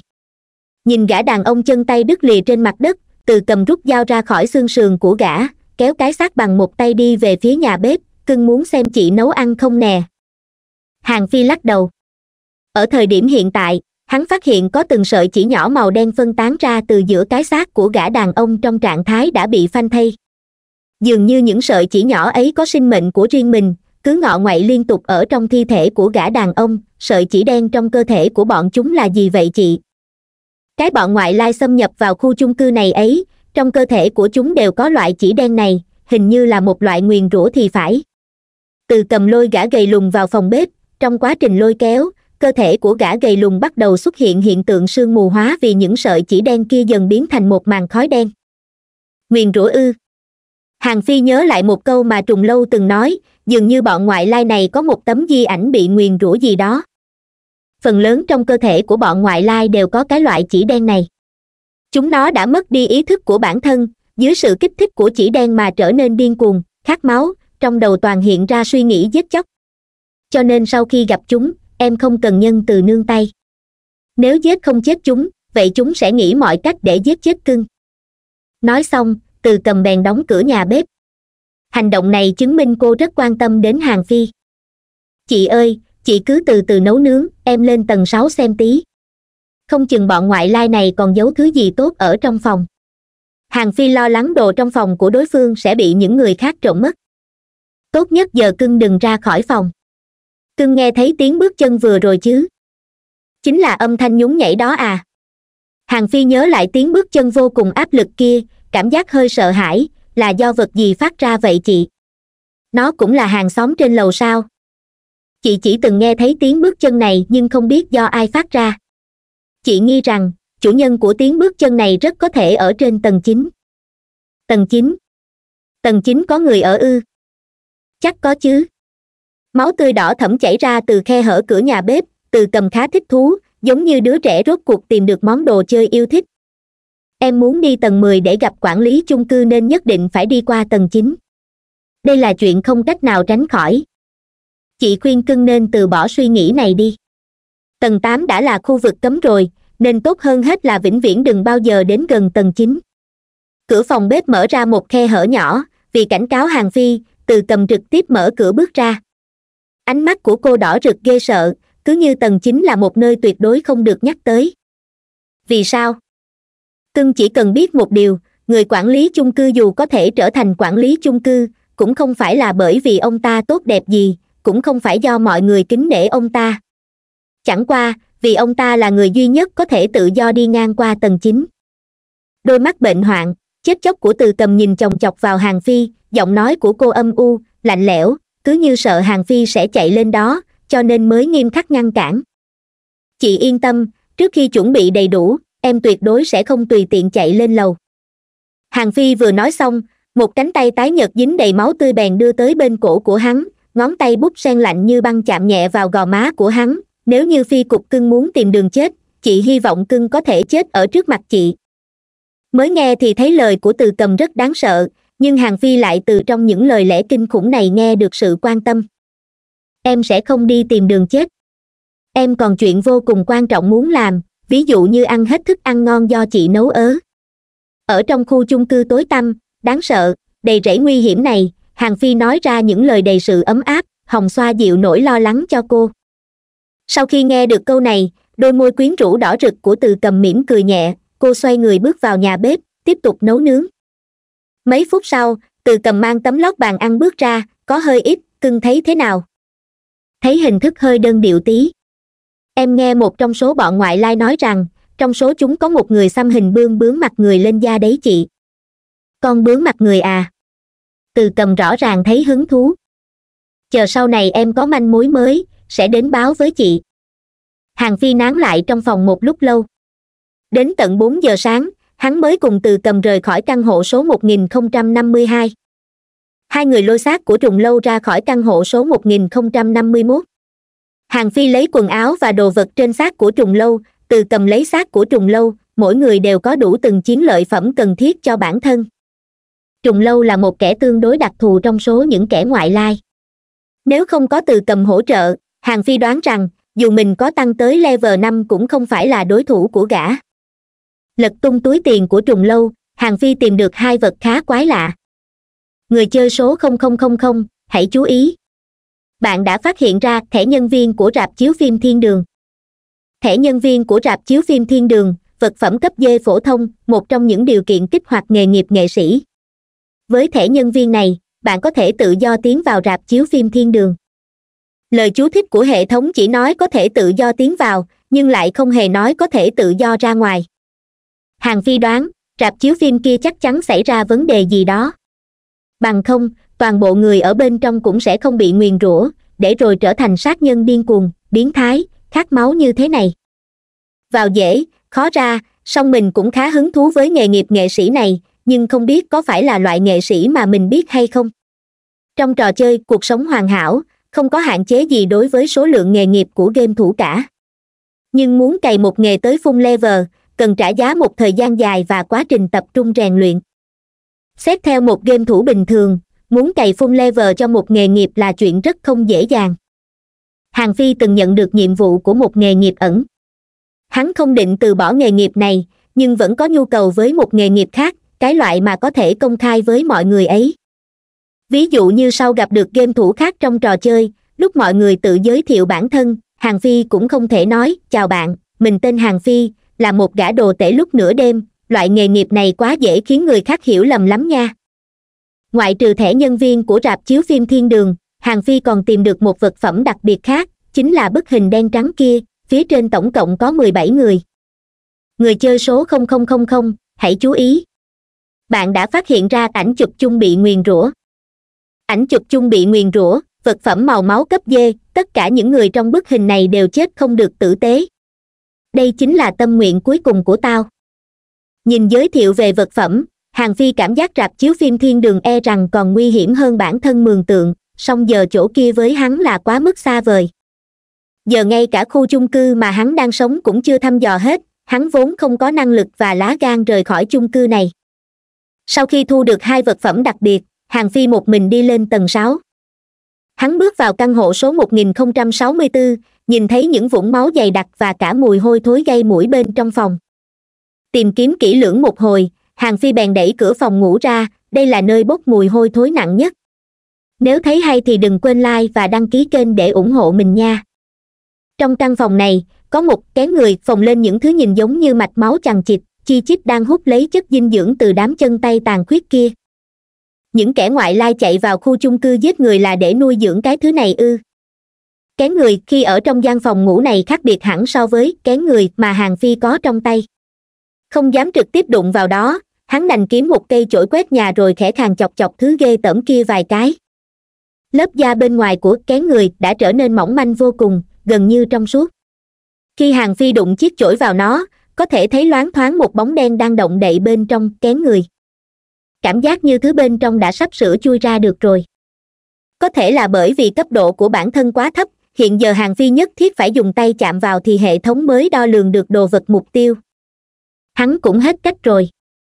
Để có thể hiểu rõ tổ kén trước mặt này có điểm gì đặc biệt, hàng phi đành lấy hết can đảm vươn tay về phía đám xác chết. Đầu ngón tay của hắn cố né khỏi phần thi thể tàn khuyết khi khoảng cách giữa cánh tay của hàng phi và tổ kén kia chỉ còn cỡ vài cm, bỗng phía dưới của tổ kén bắn ra một sợi tơ máu rất mảnh. Sợi tơ máu kia tựa như một mũi kim bạc chích thẳng vào ngón tay của hắn. Cảm giác đau nhức truyền tới khiến hàng phi phải vội vàng rút tay lại. Kén người, trong căn hộ số 1064 từng hấp thu một lượng máu tươi rất lớn nên đã nảy sinh một sự biến hóa nào đó. Thứ bên trong cơ thể tổ kén này không chỉ đơn giản là đã thức tỉnh mà dường như nó còn có thể cảm nhận được thế giới bên ngoài. Hình như cái thứ này cũng có trí tuệ chứ không giống những con côn trùng bình thường. Hàng phi nhìn vết thương trên đầu ngón tay của mình. Tuy vết thương ấy không lớn, song lại rất sâu. Xem chừng, nó cũng chẳng có tác dụng gì đối với mình, ngược lại còn cực kỳ nguy hiểm nữa. Hàng phi lôi chiếc bật lửa trong túi áo ra, vốn dĩ hắn thủ sẵn thứ này là để đề phòng, vào thời khắc then chốt có thể lập tức châm thuốc rốt cuộc mày là côn trùng hay là ma quỷ? Hoặc cũng có thể là thứ gì đó khác nữa nhỉ? Một ngọn lửa bật lên, nhảy múa giữa không gian âm u lạnh lẽo của căn phòng. Hàng phi tìm một tờ giấy vụn mồi lửa để đốt cây chổi quét nhà. Cái bóng của hắn trên tường cũng không ngừng nhảy múa theo ánh lửa. Tay phải của hàng phi cầm chắc cán chổi đã được châm lửa, còn tay trái thì chậm chậm vươn lại gần tổ kén kia. Mày cứ thử chích tao thêm phát nữa đi ánh lửa chập chờn soi rọi vào tổ kén. Bóng đen non nớt bên dưới lớp da mỏng manh không ngừng run rẩy bất an, thế nhưng nó chẳng còn chỗ trốn nào cả. Từng sợi mạch máu li ti bị đốt dần đứt đoạn, dường như hàng phi còn nghe thấy một tiếng kêu thảm thiết bên tai. Âm thanh ấy rất xa mà lại như rất gần, lãng đãng bất định. Là mày đang gào khóc ư? Hàng phi không hề mềm lòng, tiếp tục giơ cây chổi quét nhà đã cháy bùng lên soi phía trên cơ thể tổ kén trong khi bàn tay kia của hắn cuối cùng cũng chạm vào được kén người đỏ tươi như máu. Người chơi số 0000 hãy chú ý. Bạn đã phát hiện ra vật phẩm sắc máu cấp D, kén người. Kén người, vật phẩm sắc máu là kén của một loại côn trùng, đã từng hấp thụ một lượng lớn máu tươi và nguyền rủa. Nó đang trong giai đoạn chuẩn bị cuối cùng trước khi phá kén. Nhìn vào tổ kén nằm trong đống xác chết, hàng phi có cảm giác hơi bối rối. Nó đã sắp sửa phá kén chui ra được rồi bây giờ mà đem nó đi sẽ có rủi ro ảnh hưởng tới sự trưởng thành của nó. Kỳ thực, hàng phi cũng rất muốn xem thử bên trong tổ kén này có thể chui ra thứ gì. Dù sao thì đám ngoại lai kia đã phải phí công tốn sức ba bò chín trâu để cấp dưỡng cho nó mà. Chỉ có điều, nếu giữ tổ kén này tại đây trong khi hàng phi chẳng thể nào online mãi để trông coi nó, ngộ nhỡ nó phá kén chui ra trước thời hạn rồi bỏ trốn thì phải làm sao đây? Để cho từ cầm coi chừng nó ư vậy thì không thực tế cho lắm. Những kẻ ngoại lai ở tầng sáu không chỉ có hai người bọn họ, mình vẫn chưa nhìn thấy ai trong ba căn hộ còn lại. Nếu mình bỏ nó lại đây, chắc chắn sẽ bị những kẻ ngoại lai khác đem đi. Vài giây sau, hàng phi bèn đưa ra quyết định của mình. Hắn giơ tay giật đứt những mạch máu trên lớp da của tổ kén rồi bỏ nó vào ô vật phẩm. Ngay vào lúc giật đứt những mạch máu kia, bên tai hắn thình lình vang lên tiếng kêu gào thảm thiết, không những thứ các căn hộ khác tại tầng sáu cũng truyền đến tiếng động lạ rời khỏi đây trước rồi tính tiếp mặc dù có thể đăng xuất bất cứ lúc nào nhưng nếu để bị nhốt trong phòng thì sẽ rất nguy hiểm hàng phi không muốn thứ đồ nhặt được bằng bản lĩnh của chính mình lại bị người khác giành mất nên hắn quyết đoán rời khỏi căn hộ số 1064. Mình hầu như đã lật tìm khắp căn hộ này hết rồi, chẳng còn gì phải lưu luyến nữa. Trở về tầng 5, Hàng Phi gõ nhẹ cánh cửa căn hộ số 1052. Bản thân hắn cũng cảm thấy số lần mình chạy đến tầng năm này có hơi nhiều rồi thì phải. Chị à, em lại tìm được một tổ kén ở tầng 6 này. Sau khi cánh cửa phòng mở ra, Hàng Phi giao ngay tổ kén mà mình tìm được ở tầng 6 cho từ cầm mà từ cầm cũng rất muốn biết bên trong tổ kén này rốt cuộc có thể bay ra thứ gì cho nên cuối cùng cả hai bèn quyết định nuôi dưỡng nó trong căn hộ số 1051. Cái thứ bên trong tổ kén rất thông minh. Trước khi tiến vào căn hộ số 1051, nó đã cảm nhận được nguy hiểm nên không ngừng phát ra tiếng kêu thảm thiết. Chỉ đáng tiếc, kết quả của hành động này chính là khơi dậy sự cảnh giác và lòng hiếu kỳ của từ cầm hình như có một con quỷ dính phải nguyền rủa đang bị nhốt bên trong tổ kén này nó rất đặc biệt từ cầm đích thân đưa kén người vào căn hộ số 1051, cưng yên tâm chị sẽ nuôi lớn nó thật tốt trở lại tầng bốn, hàng phi không lập tức đi vào căn hộ ma ám mà sực nhớ ra chuyện của hạ thủ nghiệp và hạ vũ hòe. Sau khi liếc nhìn xuống tầng dưới hàng phi dự định nhân cơ hội bản thân có thể tùy ý đăng xuất khỏi game để đi gặp mặt khóc một lần. Xuống đến tầng ba, hàng phi phát hiện cánh cửa vốn dán đầy bùa chú của căn hộ số 1034 không hề đóng một luồng hơi âm u lạnh lẽo đang từ bên trong tràn ra cảm nhận được độ mát lạnh từ chiếc nhẫn của chủ nhà, truyền tới, hàng phi hơi trùng chân. Lần bước vào căn hộ số 1034 trước đây có thể nói là thập tử nhất sinh. Vào lúc hắn còn đang đắn đo do dự, tiếng bước chân quỷ dị trên hành lang lại vang lên một lần nữa. Lần này, dường như đối phương xông thẳng đến chỗ của hàng phi, tốc độ còn nhanh hơn lần trước nhiều. Quả nhiên không thể dừng lại trong hành lang quá lâu. Hàng phi cũng không dám cậy mạnh trực tiếp chạy thẳng vào căn hộ của khóc. Đóng cửa chống trộn lại, hàng phi lập tức có cảm giác như bản thân vừa bước vào một hầm băng. Hắn nhìn đám đồ dùng vỡ nát và đống bùa chú bị xé vụn trải đầy đất, trong lòng có chút ngại ngùng. Hàng phi bước đến bên cạnh bàn thờ nơi góc tường, chờ sau khi tiếng bước chân ngoài hành lang biến mất mới khẽ giọng dò hỏi, khóc à cháu có đây không? Trong phòng không có bất kỳ lời đáp trả nào cả cậu nhóc khóc với khát vọng có bạn bè bầu bạn có vẻ như không mong muốn nhìn thấy hàng phi. Trước đây chúng ta có chút hiểu lầm. Chú biết một vài chuyện có liên quan đến cháu, hàng phi thấy khóc vẫn chưa xuất hiện bèn lùi ra gần cửa căn hộ, sau đó chậm rãi nói, cái tên hạ vũ hòe cháu hẳn là vẫn còn nhớ chứ? Hàng phi vừa thốt ra ba chữ kia thì gần như trong nháy mắt, nhiệt độ trong phòng lập tức hạ thấp xuống ngay. Những mảnh vụn bùa chú và tiền giấy rơi đầy đất bỗng vang lên tiếng loạt soạt trên mặt từng tên hình nhân giấy hiện lên vẻ kinh hoàng. Một cánh tay khô đét từ trong bàn thờ vỡ nát kia thò ra, sau đó một bóng đen mơ hồ lẳng lặng hiện lên. Khóc, hàng phi không diễn. Hắn đang thật tâm muốn nói đôi lời với khóc, hạ thủ nghiệp chết rồi, nhưng những tội ác do gã gây nên vẫn chưa hề tan biến, vẫn còn rất nhiều oán linh đang đợi được minh oan. Chú có thể hỏi cháu vài vấn đề hay không? Chỉ vừa mới nghe đến cái tên hạ thủ nghiệp là bóng đen kia đã bắt đầu trở nên vặn vẹo trên người của nó hiện ra một khuôn mặt trẻ thơ, cực kỳ đau khổ cào cấu vào cơ thể của bản thân. Từ trên cơ thể ấy, từng dòng máu đen không ngừng chảy xuống. Bình tĩnh. Chú không hỏi nữa, cháu hãy bình tĩnh lại đi. Bộ dạng của khóc hiện giờ quá mức đau khổ, cứ như thể nó muốn bươi móc hết toàn bộ da thịt khắp người mình xuống vậy. Đứa trẻ này dường như cực kỳ căm ghét cái thân thể chứa dòng máu của hạ thủ nghiệp này. Hàng phi quả thực không dám tưởng tượng trước đây khóc đã phải trải qua những chuyện đau khổ tuyệt vọng đến nhường nào, mới có thể khiến nó sau khi biến thành quỷ mà vẫn căm hận người đó đến như vậy. Khóc à! Người đó đã chết rồi, sẽ không còn ai có thể tiếp tục hại cháu nữa. Sau khi biết được một phần quá khứ của hạ vũ hòe, hàng phi rất đồng cảm với đứa bé này. Giờ đây, hắn cố áp chế nỗi sợ hãi của bản thân, nhích lại gần đối phương từng chút một bóng đen nhỏ gầy ấy vẫn điên cuồng tự ngược trong căn phòng tối đen âm u lạnh lẽo. Bất kể hàng phi nói như thế nào cũng không ngăn cản được khóc cào xé bản thân. Nhìn đứa trẻ đã hoàn toàn rơi vào cơn điên loạn, hắn vô thức làm ra một hành động gần như theo bản năng. Hắn đứng bên cạnh bàn thờ, giơ hai tay ra, nhẹ nhàng ôm lấy khóc, không sao rồi, thực sự không sao rồi.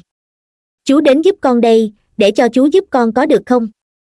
Máu đen chảy cả lên người hàng phi toàn thân hắn đều rất đau đớn nhưng lại không buông tay. Cơ thể thì bị lạnh cống đến tê dại, thế nhưng trái tim của hàng phi lúc này rất nóng. Hắn cũng không hiểu tại sao bản thân lại có thể làm như vậy nữa. Hiện tại hắn rất sợ hãi, cũng rất khó chịu, chỉ có điều thâm tâm hắn lại càng muốn ngăn cản khóc cho bằng được. Trong mắt hắn, khóc chưa từng làm bất cứ chuyện gì có lỗi, kẻ đáng phải chịu nỗi thống khổ này nên là hạ thủ nghiệp mới đúng. Phải qua vài phút thì khóc mới bình tĩnh lại được mà giờ phút này, hàng phi đã sức cùng lực kiệt. Hắn cũng không còn định tiếp tục truy hỏi khóc nữa, bởi điều này đối với khóc mà nói là quá ư đau khổ. Hắn chậm rãi buông lỏng cánh tay. Bóng đen nhỏ gầy kia vẫn đứng bên cạnh bàn thờ như cũ, từ đầu tới cuối không có bất kỳ phản ứng nào cả. Nếu sau này con cảm thấy cô đơn, chú có thể ở bên con. Chú sẽ đến làm bạn cùng con, một người bạn đúng nghĩa ấy. Thấy khóc vẫn không có phản ứng gì như cũ hàng phi đành thở dài một hơi, sau đó đi về phía cửa. Vào lúc sắp ra đến cửa căn hộ, bỗng như vừa chợt nhớ ra điều gì, hàng phi bèn quay đầu lại nhìn về phía khóc vẫn đang đứng cô đơn lẻ loi trong góc phòng, lúc chơi bịt mắt trốn tìm, con đã thua chú rồi. Dám chơi dám chịu. Con có còn nhớ là mình đã đáp ứng giúp chú làm ba điều hay không? Khi nhắc đến trò chơi bịt mắt trốn tìm bữa trước, lúc này bóng đen nhỏ gầy kia mới có phản ứng lại. Thấy cuối cùng khóc đã nghe mình nói trên mặt hàng phi bộc lộ ra một nét dịu dàng, điều đầu tiên mà chú muốn con làm chính là sau này, cho dù xảy ra bất cứ chuyện gì, con cũng đừng tự thương tổn bản thân mình thế nữa. Cái đầu luôn cúi gầm xuống dần ngẩng lên, đến khi khóc nhìn về phía hàng phi thì hắn đã bước ra khỏi căn hộ số 1034. lúc này, hàng phi đang kéo lê thân thể đã mệt mỏi rã rời, vừa muốn đi lên tầng 4 thì trong đầu bỗng vang lên âm thanh của hệ thống. Người chơi số 0000 hãy chú ý độ hảo cảm của hạ vũ hòe, cộng năm. Quan hệ láng giềng hòa hảo chính là bước đầu tiên để đạt được cuộc sống hoàn hảo. Hàng phi chưa từng giúp khóc làm bất cứ nhiệm vụ gì, nên khi nghe thấy âm thanh cảnh báo vang lên trong đầu, hắn đã vô cùng kinh ngạc. Vạn sự khởi đầu nan, những đau khổ mà khóc đã gặp phải trong quá khứ khiến nó khép chặt cửa sổ tâm hồn mình. Vốn dĩ, hàng phi cảm thấy nó là một trong những vị hàng xóm khó, tiến công nhất. Vậy mà không ngờ sau khi chân chính tiếp xúc hàng phi lại phát hiện, kỳ thật khóc không hề khủng khiếp, đáng sợ như biểu hiện bên ngoài của nó. Quỷ trong thế giới này vẫn còn mang một tia ấm áp của nhân gian. Sau này mình phải nghĩ cách khiến nhóc khóc nở nụ cười mới được. Sau khi hạ quyết tâm ấy, hàng phi bỗng nhận ra tâm trạng của mình lúc này rất tốt. Quả thực hắn không dám tin rằng, bản thân của hiện tại đã hoàn toàn không còn nhớ tới những điều phiền muộn, áp lực trong cuộc sống hiện thực nữa. Giờ đây chỉ bởi vì quan hệ với hàng xóm láng giềng trở nên tốt hơn một chút thôi là đã khiến cho hắn cảm thấy thỏa mãn rồi. Trong quá khứ, mình đã coi nhẹ quá nhiều thứ chăng? Mang lại nụ cười cho người khác đây chẳng phải chính là nguyên nhân ban đầu khiến mình lựa chọn trở thành diễn viên hài hay sao? Ước mơ của mình chưa bao giờ thay đổi. Chỉ là vì suốt chặng đường thực hiện ước mơ này, mình lại càng ngày càng đau khổ, đến cuối cùng ngay cả nụ cười của bản thân mà mình cũng tự đánh mất luôn hàng phi quay đầu lại nhìn về phía căn hộ số 1034 bị dán đầy bùa chú, trong lòng nảy sinh một tia nghi hoặc.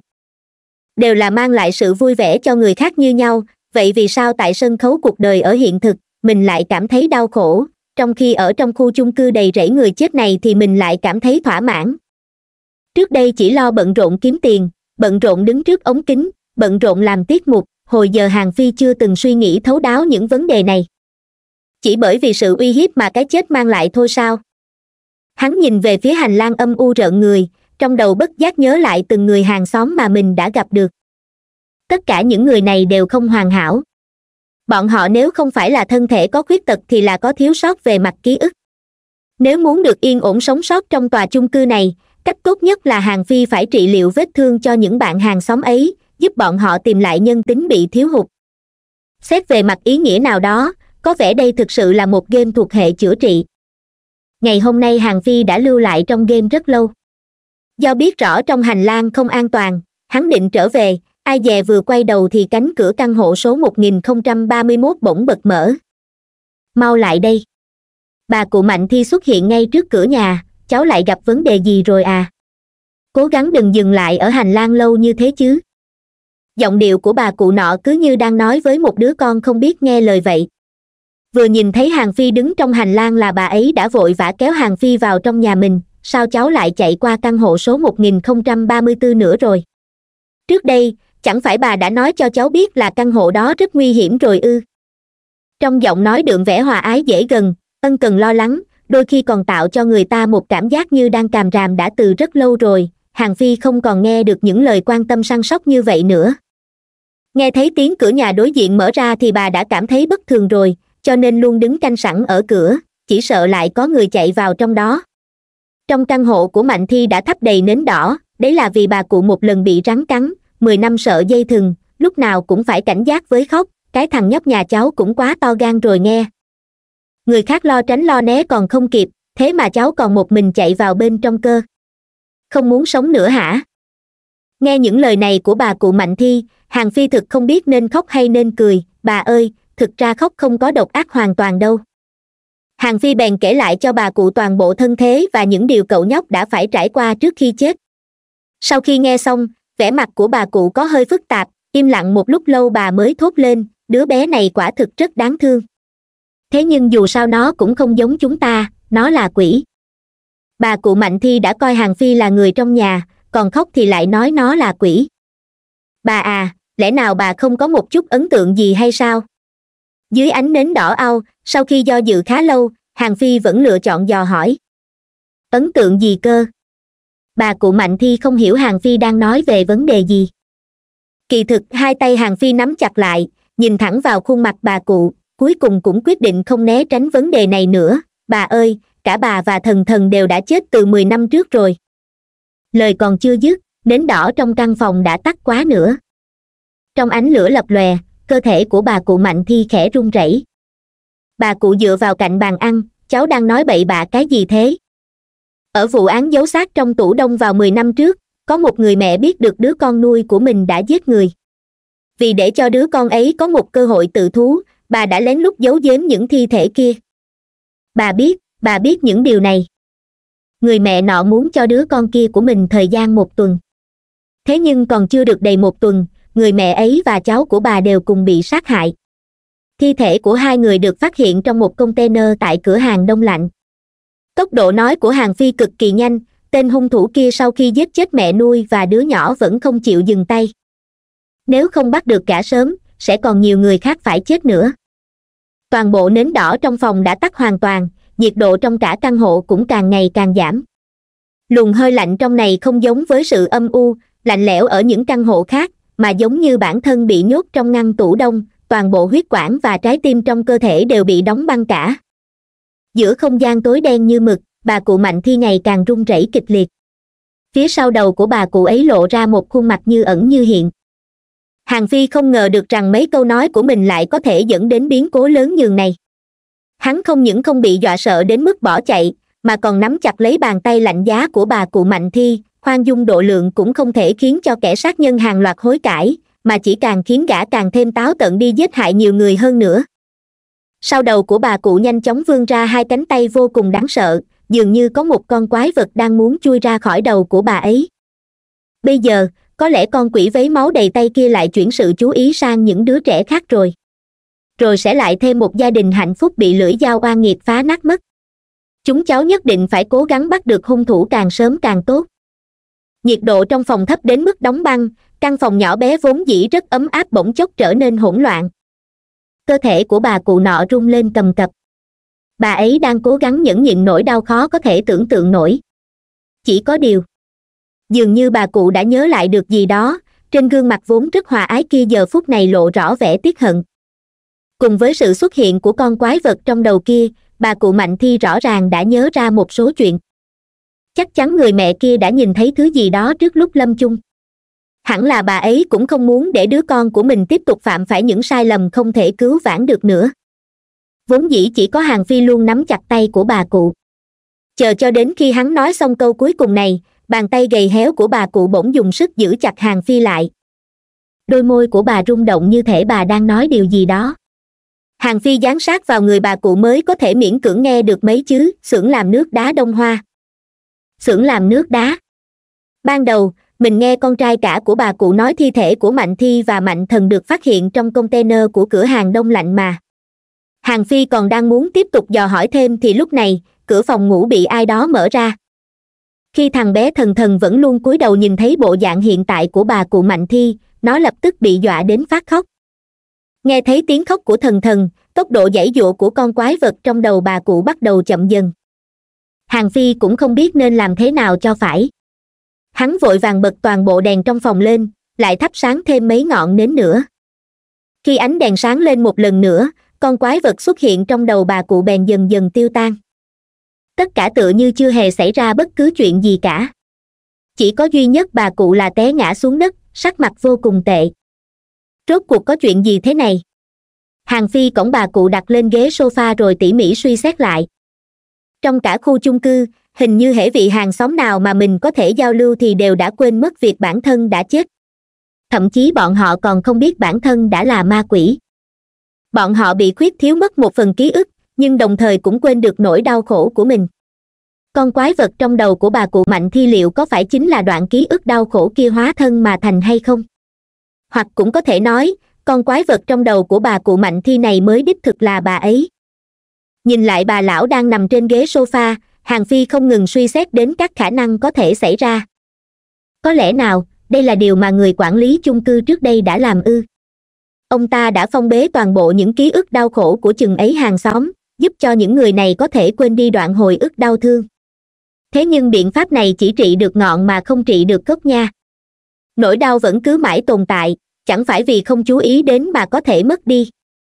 Trong cả tòa chung cư rất ít người có năng lực tác động vào ký ức của hàng xóm, người quản lý chung cư thần bí nên tính là một, cho nên hàng phi nghi ngờ cũng có lý. Sau vài ngày chơi game, giờ hàng phi chia hộ gia đình trong khu chung cư này làm hai loại, một loại có thể trò chuyện giao tiếp, một loại thì hoàn toàn bị tuyệt vọng và đau khổ chiếm giữ. Hai loại hàng xóm này ở trọ trong cùng một khu chung cư, giữa bọn họ cũng tồn tại một mối liên hệ nào đó. Hàng phi vẫn chưa hoàn toàn rõ ràng tình huống cụ thể chỉ cảm thấy tất cả bí mật ắt hẳn đều được giấu ở trong căn hộ của người quản lý chung cư. Tầng mười phải lên tầng mười càng sớm càng tốt. Đợi sau khi tình trạng của mạnh thi ổn định lại hàng phi mới uể oải rời khỏi căn hộ số một không ba mươi 1031. hắn trở lại căn hộ ma ám số một không trăm bốn mươi 1044, tiện tay đóng cửa chống trộm. Mạnh thi ở tầng ba có quan hệ tốt với mình bà chị ở tầng năm đang trong quá trình tiến công cưa cẩm khóc cũng đã thay đổi ở một mức độ nhất định giờ chỉ cần giúp cho bạn cùng phòng hồi phục lý trí, mình có thể hoàn thành bước đầu trong mục tiêu nhỏ là hòa hảo với hàng xóm láng giềng. Liên tục chơi game lâu như vậy, tâm lý của hàng phi dần thay đổi. Ban đầu, hắn điều tra vụ án là vì mạng sống. Nhưng sau khi hiểu biết vấn đề sâu sắc hơn, hàng phi dần thực sự muốn tra ra chân tướng, báo thù cho các bạn hàng xóm. Cần phải đăng xuất thôi. Ở trong trò chơi này lâu rồi, luôn cảm giác hình như thế giới này thật sự tồn tại ấn nút thoát game, thế giới bị màu máu phủ kín, ý thức của hàng phi dần trở nên mơ hồ. Tháo mũ trò chơi xuống, hàng phi nằm lên giường, không muốn nhúc nhích chút nào. So với sự uể oải trên thân thể, hiện tại hắn còn kiệt quệ hơn về tinh thần. Tạm thời không cần suy nghĩ đến công việc diễn viên, số tiền gửi trong ngân hàng còn đủ để mình sinh sống một thời gian. Hàng phi mở phần mềm internet banking trên smartphone, hiện giờ mình có hai cách để kiếm tiền một là đợi sau khi trò chơi, cuộc sống hoàn hảo, chính thức open beta, dựa vào trò chơi để kiếm tiền. Nhưng những đặc sản trong cõi âm chắc không thể chuyển tới thế giới game bình thường, một cách kiếm tiền khác chính là dựa vào phá án để kiếm tiền thưởng. Nhìn về phía bức ảnh của mạnh trường an, hàng phi cứ như nhìn thấy tờ năm mươi nghìn tệ được dán trên vách tường. Đều dựa vào bản lĩnh kiếm tiền, không có gì phải xấu hổ lần này, hàng phi đã nắm được một manh mối quan trọng trong game, xưởng làm nước đá đông hoa. Nơi đau đớn nhất trong ký ức của mạnh thi chính là xưởng làm nước đá. Điều này trái ngược hẳn với tin tức mà hàng phi từng thu được trước đó. Hắn dự định sau khi ngủ dậy, sẽ tự mình đi qua xem. Báo thức lúc mười giờ sáng reo vang, hàng phi bị đánh thức. Hắn ăn qua loa cho có lệ rồi cầm smartphone bấm số điện thoại của lệ tuyết. Giờ chị có thời gian không? Có thể đi cùng em đến một chỗ hay không? Dù hàng phi không tham gia phá án nhưng đã xem qua rất nhiều bộ phim tương tự. Sau khi tìm được manh mối, nhân vật chính trực tiếp điều tra, cuối cùng khiến bản thân rơi vào tình huống hiểm nghèo. Hắn tuyệt đối sẽ không để chuyện như vậy xảy ra với mình. Đi đâu? Về vụ án giấu xác trong tủ lạnh, ngăn mát chứa thực phẩm tươi sống rất có thể không phải hiện trường án mạng đầu tiên. Xác của mạnh thi và thần thần đã bị chuyển qua đó chúng tôi đã biết điều này. Vậy chị có biết hiện trường án mạng đầu tiên ở đâu không? Tạm thời vẫn chưa thể xác định. Để em đưa chị tới đó. Hàng phi không tốn bao nhiêu thời gian đã thuyết phục được lệ tuyết. Một tiếng sau, lệ tuyết lái xe mô tô đưa hàng phi đến khu vực ngoại ô phía bắc thành phố tân hổ. Tân hổ có diện tích rất lớn. Những người giàu có nhất và phần lớn tầng lớp trung lưu đều sống tại khu vực trung tâm trong thành phố thông minh bên ngoài thành phố thông minh là khu phố cổ, nơi rồng rắn lẫn lộn. Trước khi hệ thống thông tin công dân ra đời, khu vực này cực kỳ hỗn loạn. Ngoại trừ thành phố thông minh và khu phố cổ, tân hổ còn bốn vùng ngoại thành, gồm đông, tây, nam, bắc. Với sự phát triển của khoa học công nghệ, một lượng lớn người từ ngoại thành đổ vào thành phố. Ngoại thành tân hổ cũng vì thực trạng này mà càng ngày càng hoang vắng nơi đó còn sót lại rất nhiều công trình xây dựng dở dang và các nhà máy bỏ hoang.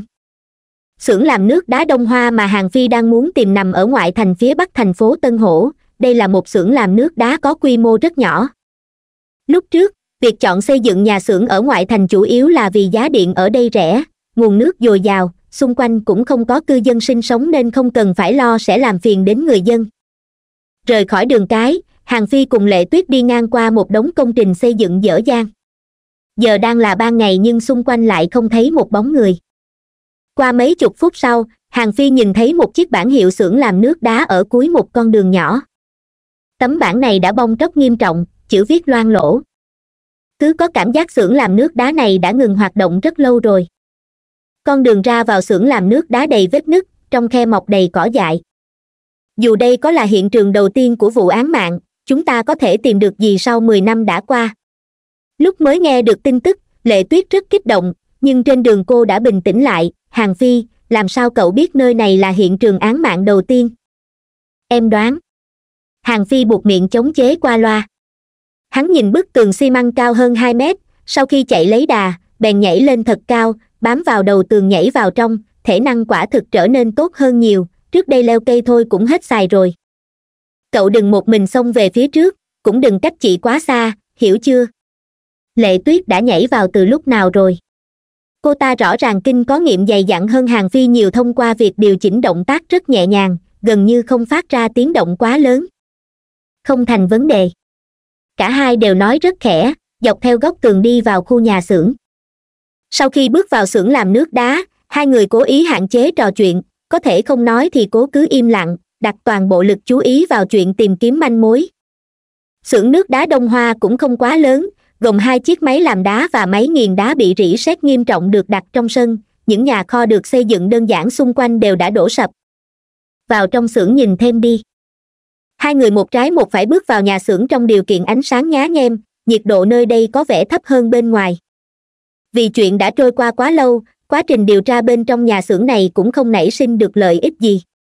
Trong khi hàng phi đang suy nghĩ không biết mình có bỏ sót thứ gì không, lệ tuyết lại một mình đi vòng quanh nhà chị đang làm gì?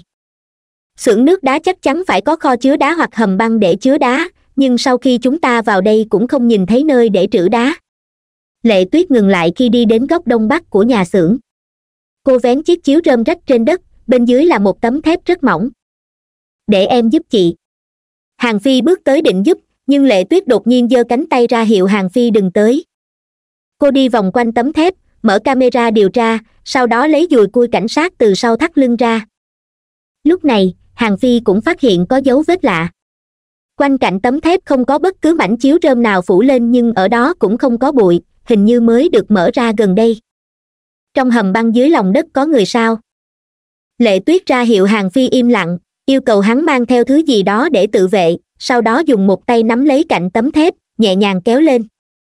Dưới tấm thép có thể nghe được tiếng gió thổi vang từ sâu bên trong hầm băng đen như mực. Dường như hầm băng này còn thông tới một nơi nào đó nữa. Lấy smartphone ra, lệ tuyết gọi cho đồng sự của mình, báo cáo vị trí hiện tại của hai người. Sau đó, cô bật chức năng đèn pin của smartphone, một mình đi xuống hầm băng dưới lòng đất.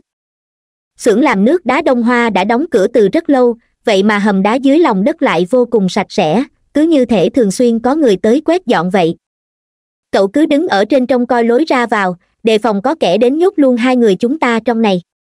Tôi đã thông báo cho đồng nghiệp ở gần đây rồi, chắc hẳn bọn họ cũng sẽ mau chóng tới thôi. Lệ tuyết đang nghe truyện trên tv audio cv cầm điện thoại dò xét xung quanh hầm đá, chẳng bao lâu sau đã có phát hiện mới. Cái gì kia? Ánh sáng phát ra từ điện thoại chiếu thẳng đến góc tường. Lệ tuyết nhìn ra nơi đó có một chiếc lư hương bên cạnh lư hương bày một tấm ảnh màu của bà cụ mạnh thi. Ảnh của người chết. Tại sao trong đây lại có bức ảnh của người chết được? Có người cúng bái bà ấy ở đây ư? Diện tích của hầm đá dưới lòng đất không lớn lắm, chỉ cần lướt mắt một cái là có thể nhìn được từ đầu tới cuối, cũng không có bất kỳ vật cản nào ngăn chặn tầm mắt cả. Thế cho nên, lệ tuyết can đảm hơn hẳn. Cô nàng bước đến góc phòng không động vào di ảnh dưới đất mà chỉ dùng máy ảnh chuyên dụng phá án để quay chụp lại tất cả. Chị có phát hiện gì không? Tôi tìm thấy bức ảnh của bà cụ mạnh thi. Có người thường xuyên dành thời gian chạy tới đây để cúng bái cho bà cụ. Nhìn tàn nhang trên lư hương, có thể thấy người đó đã đến đây rất nhiều lần. Chỉ có chừng ấy thôi sao? Hàng phi vô cùng coi trọng manh mối mà bà cụ mạnh thi kia đã cung cấp. Thế nhưng theo lời của lệ tuyết có vẻ đây cũng chẳng phải manh mối gì quá quan trọng, nếu không thì chị lên đây đi, để tôi xuống xem xét thử. Sau khi kéo lệ tuyết lên, hàng phi bèn nhảy xuống hầm đá. Gần như trong nháy mắt khi vừa nhảy vào trong này, hắn bèn nảy sinh một loại cảm giác quen thuộc khó nói thành lời. Không gian khép kín, sự âm u lạnh lẽo và bóng tối vô biên không ngừng ùa tới. Tay chân của hàng phi đã hơi tê dại. Hắn sực nhớ lại những chuyện mà mình đã trải qua trong căn hộ của bà cụ mạnh thi vào lúc bà lão bị mất khống chế, cảm giác của hắn khi ở trong căn hộ số 1031 cũng giống y như trong hầm đá dưới lòng đất hiện giờ. Thì ra cái lạnh giá kia chính là cảm giác của bà lão trước lúc lâm chung. Hắn bật đèn pin trong điện thoại của mình rồi bước đến bên góc tường, tỉ mỉ quan sát lư hương và tấm ảnh của bà cụ mạnh thi dưới mặt đất. Bà cụ mạnh thi trong bức ảnh còn rất trẻ, mái tóc vẫn chưa bạc trắng, có vẻ như kẻ thường xuyên đến cúng bái bà cụ chỉ có duy nhất một bức ảnh này chắc hẳn xưởng làm nước đá đông hoa chính là hiện trường tử vong đầu tiên của người chết. Kẻ tới đây tế bái bà ấy khẳng định là người biết rõ nội tình, hơn nữa phải có quan hệ thân thiết với bà lão mạnh thi. Rất có khả năng chính là ba đứa con của bà ấy.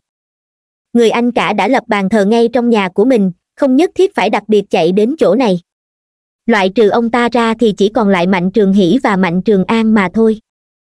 Một làn gió lạnh lẽo thổi qua khuôn mặt của hàng phi tuy hầm đá của xưởng làm nước đá đông hoa được thiết kế dưới lòng đất, song hệ thống thông gió lại cực tốt. Điều này đã dấy lên sự nghi ngờ của hàng phi, hầm đá mà cũng cần duy trì cho không khí lưu thông ư. Hắn bèn lần dò theo hướng gió thổi đến một góc hầm đá. Ngay phía hố thoát nước, nhìn thì có vẻ như nối liền một mạch với nền nhà, lại lộ ra một khe hở. Hàng phi luồn tay vào khe hở ấy, dùng sức nảy thử bèn phát hiện hố thoát nước kia chỉ là để ngụy trang, còn bên dưới đó lại có một lối đi còn có thể xuống sâu hơn nữa ư? Nhìn xuống lối đi mờ mịt bên dưới, hàng phi hơi do dự. Không khí trở nên ẩm thấp, một mùi hôi tràn lên từ bên trong lối đi ấy. Hố thoát nước trong hầm đá đã bị đào rỗng, nối liền với hệ thống thoát nước ngầm dưới lòng đất của thành phố. Chúng ta có nên xuống xem thử hay không? Chờ đội chi viện tới đã. Trước đây, thành phố tân hổ sử dụng hệ thống ống thoát nước ngầm dạng lưới. Về sau cùng với sự nâng cấp mở rộng thành phố, tất cả đã được sửa lại thành hệ thống thoát nước ngầm kiểu hành lang. Hiện giờ bên trong thông suốt đi bốn phương tám hướng, đang xen phức tạp, nếu không mang theo bản đồ thì khi vào trong rất dễ bị lạc. Lệ tuyết từng là nhân viên trong đội cảnh sát hình sự nên kinh nghiệm của cô ấy rất phong phú. Lúc cần xông pha lên phía trước sẽ tuyệt đối không do dự, mà khi cần bình tĩnh suy xét tất không liều lĩnh. Ước chừng phải đợi mười mấy phút sau hai vị đồng nghiệp trước đây của lệ tuyết mới chạy tới. Bọn họ không giống như những vị công an nhân dân bình thường khác, mà là thành viên của tổ trinh thám hình sự. Một vị cảnh sát hình sự trong đó còn xin được đặc quyền tạm thời của cơ quan quản lý hệ thống xử lý chất thải thành phố, xuất ra được cả bản đồ, từ đó bọn họ mới có thể thuận lợi tiến vào lối đi dưới lòng đất. Trong không khí phản phất một thứ mùi gây mũi, con sông nhân tạo dưới lòng đất phát ra tiếng nước chảy róc rách bọn họ đi trên lối hành lang chuyên dụng cho nhân viên tu sửa. Trên đầu là đủ thứ đường ống như đường nước thủy cục, ống gas, đường dây thông tin, được thiết lập từ mười mấy năm về trước. Nếu xưởng làm nước đá đông hoa là hiện trường gây án đầu tiên, vậy thì sau khi giết người, phải chăng hung thủ đã di chuyển thi thể thông qua đường thoát nước này? Lệ tuyết vẫn đang suy xét về tình tiết vụ án. Hàng phi thì nhớ lại từng câu nói của bà cụ mạnh thi lúc trước, còn hai bị cảnh sát kia lại đang nghiên cứu bản đồ. Chị tuyết khu vực chúng ta đang đứng này hoàn toàn không hiển thị trên bản đồ. Một anh cảnh sát phóng to bản đồ lên, bên dưới hầm đá có một lối đi do con người đào lên. Bản đồ về hệ thống xử lý chất thải của thành phố không khớp với hiện trường. Mấy người bọn họ đã tiến vào khu vực không được hiển thị trên bản đồ, ở đó đã được người ta đào thành một căn nhà, bí mật. Đi dọc theo cửa động ấy tiến vào sâu bên trong, khi nhìn thấy cảnh tượng trước mặt, cả lệ tuyết và hàng phi đều gần như không dám tin vào mắt mình trong hầm ngầm tối đen như mực này bày đủ loại bản vẽ, còn có hàng sấp tài liệu về vụ án giấu xác trong tủ đông và vụ án chặt thay ghép xác dày cột. Trong chồng tư liệu này, thậm chí có một số đã ngã màu ố vàng. Có thể thấy được, khoảng cách về thời gian của những sấp tài lại này so với hiện tại là cực dài, hẳn là phải tốn nhiều năm trời cóp nhặt từng ly từng tí mới được như vậy. Nhất thiết đừng sờ mó lung tung đó. Tất cả đều phải mang găng tay vào điều khiến cho phía cảnh sát càng phải kinh ngạc hơn còn ở phía sau kìa. Trên bức tường trong góc tận cùng của hang động này có dán một vài bức tranh và ảnh từng bị cắt xén mà thành. Trong đó đề cập tới mười mấy người, trên hầu hết các bức tranh ảnh về người này đều được đánh dấu vòng tròn bằng bút đen. Chỉ có ba người là ngoại lệ. Người thứ nhất là hạ thủ nghiệp, bức ảnh của ông ta bị người ta lấy bút đỏ gạch chéo. Người thứ hai là mạnh trường an, bức ảnh của ông ta thì bị vẽ vòng tròn bằng bút đỏ bên trên thủng lỗ chỗ do đầu bút nhọn đâm chọc vào. Có thể thấy, chủ nhân của cái hang động này hình như đã hận mạnh trường an đến thấu xương. Điều khiến cho tất cả mọi người đang có mặt không ngờ tới nhất chính là bức ảnh thứ ba. Bức ảnh đó vẫn còn rất mới, chắc hẳn mới được chụp gần đây. Người trên bức ảnh đó lại chính là hàng phi. Trên bức ảnh của hàng phi bị người ta dùng bút đen vẽ lên một dấu chấm hỏi những bức ảnh được khoanh tròn bằng bút đen chắc là biểu thị người đã được loại trừ khỏi đối tượng tình nghi. Dấu gạch chéo bằng bút đỏ đại biểu cho người đã bị giết chết. Người bị vẽ vòng tròn bằng bút đỏ có khả năng biểu thị cho đối tượng phải giết tiếp theo. Còn về dấu hỏi chấm cuối cùng. Tất cả cảnh sát có mặt đều nhìn về phía hàng phi, mà bản thân hắn cũng cảm thấy kỳ lạ. Thời gian trước tôi luôn có cảm giác bị người ta theo dõi, lẽ nào người theo dõi tôi chính là cái gã sống trong đường hầm thoát nước này hay sao? Rất có khả năng là vậy. Chỉ có điều, tại sao gã ta lại vẽ một dấu hỏi chấm lên trên bức ảnh của cậu? Lúc cậu bị gã theo dõi có làm điều gì đặc biệt hay không? Lệ tuyết nhìn chằm chằm vào bức ảnh kia của hàng phi. Lần đầu tiên phát hiện bản thân bị theo dõi là khi tôi ở phim trường của bộ phim hoa tội ác. Lúc đó, tôi đang gọi điện thoại cho chị, hình như có nói một câu, nếu so sánh với mạnh trường hỷ, hẳn là các chị nên chú ý đến mạnh trường an nhiều hơn cái gã nhìn thì có vẻ vô hại nhất ấy, nói không chừng mới là hung thủ thật sự giết hại mẹ của mình, đấy. Đôi mắt của hàng phi đột nhiên mở to, đúng thế. Ngay sau khi tôi nói xong câu này bèn nghe thấy chỗ ngã rẽ sau lưng mình vang lên tiếng động. Chắc hẳn đối phương cũng vì nghe được câu nói này của tôi mà trong lòng bị chấn động. Hiện giờ, từ các thông tin mà cảnh sát nắm giữ được thì tất cả mọi chứng cứ đều nhắm đến mạnh trường hỷ. Cậu là người duy nhất nói giúp cho gã ta cậu cảm thấy hung thủ thực sự là mạnh trường an à? Lệ tuyết nhìn đống tư liệu dày cộp trong hang động rồi mạnh dạn đưa ra suy đoán, có khi nào, người sống dưới đường ngầm thoát nước này chính là gã mạnh trường hỷ đã mất tích nhiều năm trước hay không?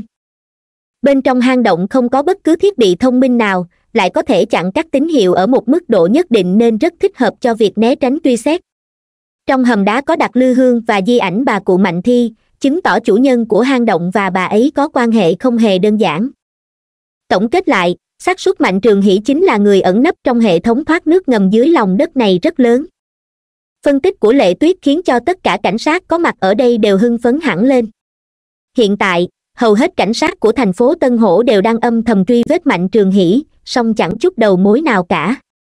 Nếu như bọn họ có thể tìm ra mạnh trường hỷ trước, vậy chắc chắn đã lập được công lớn. Đeo găng tay vào, lệ tuyệt nhẹ nhàng gỡ bức ảnh của hàng phi xuống bức ảnh này được chụp mới cách đây vài ngày thôi. Chắc là dấu vân tay lưu lại vẫn còn tương đối rõ rệt. Ngoài ra, các cậu hãy mau chóng đi đối chiếu công trình kiến trúc và góc độ chụp trong bức ảnh, lập tức trích xuất các camera ở những đoạn đường có liên quan ngay. Chờ một chút.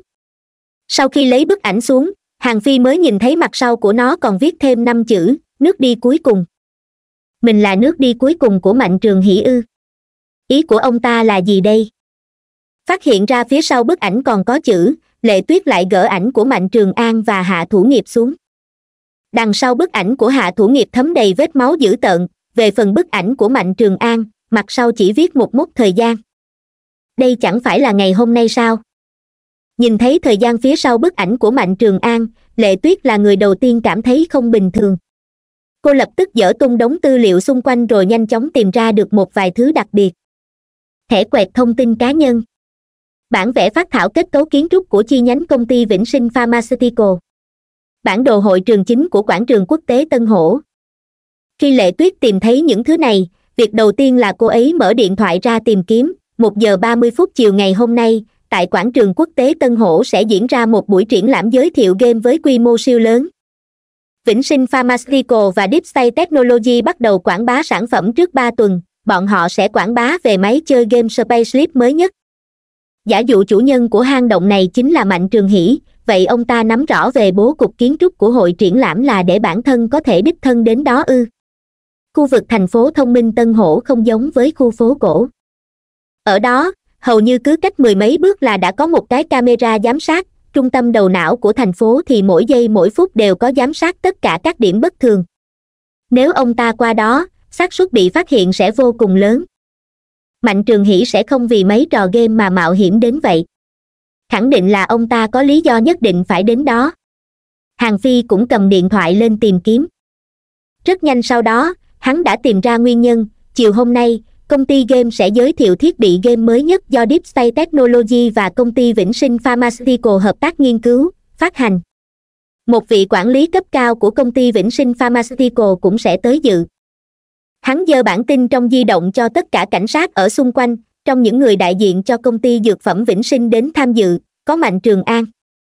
Mạnh trường hỷ muốn đi giết mạnh trường an.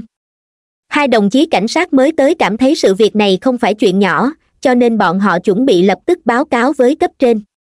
Nếu như quản lý cấp cao của công ty vĩnh sinh pharmaceutical bị giết, vậy hậu quả sẽ khó mà tưởng tượng nổi. Bình tĩnh. Lệ tuyết quét mắt nhìn một lượt đống tài liệu trong hang động lúc ban đầu, tôi cũng không hoàn toàn tin tưởng vào những lời của hàng phi nói. Mọi loại chứng cứ đều chứng minh mạnh trường hỷ chính là hung thủ giết người. Thế nhưng sau khi nhìn thấy hang động này, tôi bèn cảm thấy sự việc thực sự không đơn giản như chúng ta vẫn nghĩ.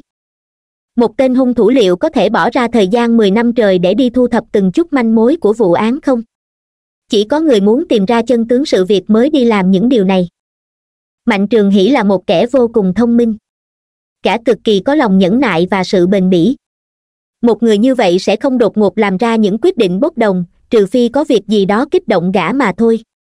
Hàng phi nhìn khắp lượt các đồng chí cảnh sát ở xung quanh. Đêm hôm qua, trong cục có nhận được một tài liệu nặc danh. Đối phương đưa ra bằng chứng chỉ rõ mạnh trường hỷ chính là hung thủ giết người trong vụ án giấu xác trong tủ đông. Một đồng chí cảnh sát nhìn sang lệ tuyết và hàng phi, do dự cả buổi mới dám mở miệng. Bằng chứng lệ tuyết cực kỳ kinh ngạc, sao tôi không được biết vậy? Chị lúc nào cũng đề nghị thầy của mình khống chế mạnh trường an, lại đối đãi cẩn trọng với mạnh trường hỷ. Điều này trái ngược với hướng điều tra tổng thể của chúng tôi. Đồng chí cảnh sát nọ lắc đầu, tối ngày hôm qua, chúng tôi đã nhận được vài bản ghi hình, ghi lại cảnh tượng mạnh trường hỷ đã chôn cất xác của đủ loại động vật trước đây. Trong đó có xác một con chim nhỏ bị cắt lìa thân, còn có mèo hoang, chó hoang nữa chỉ nội việc nhìn thấy đống xác bị cắt lìa thân thể ấy là chị đã có thể cảm thấy nội tâm của gã này biến thái đến nhường nào.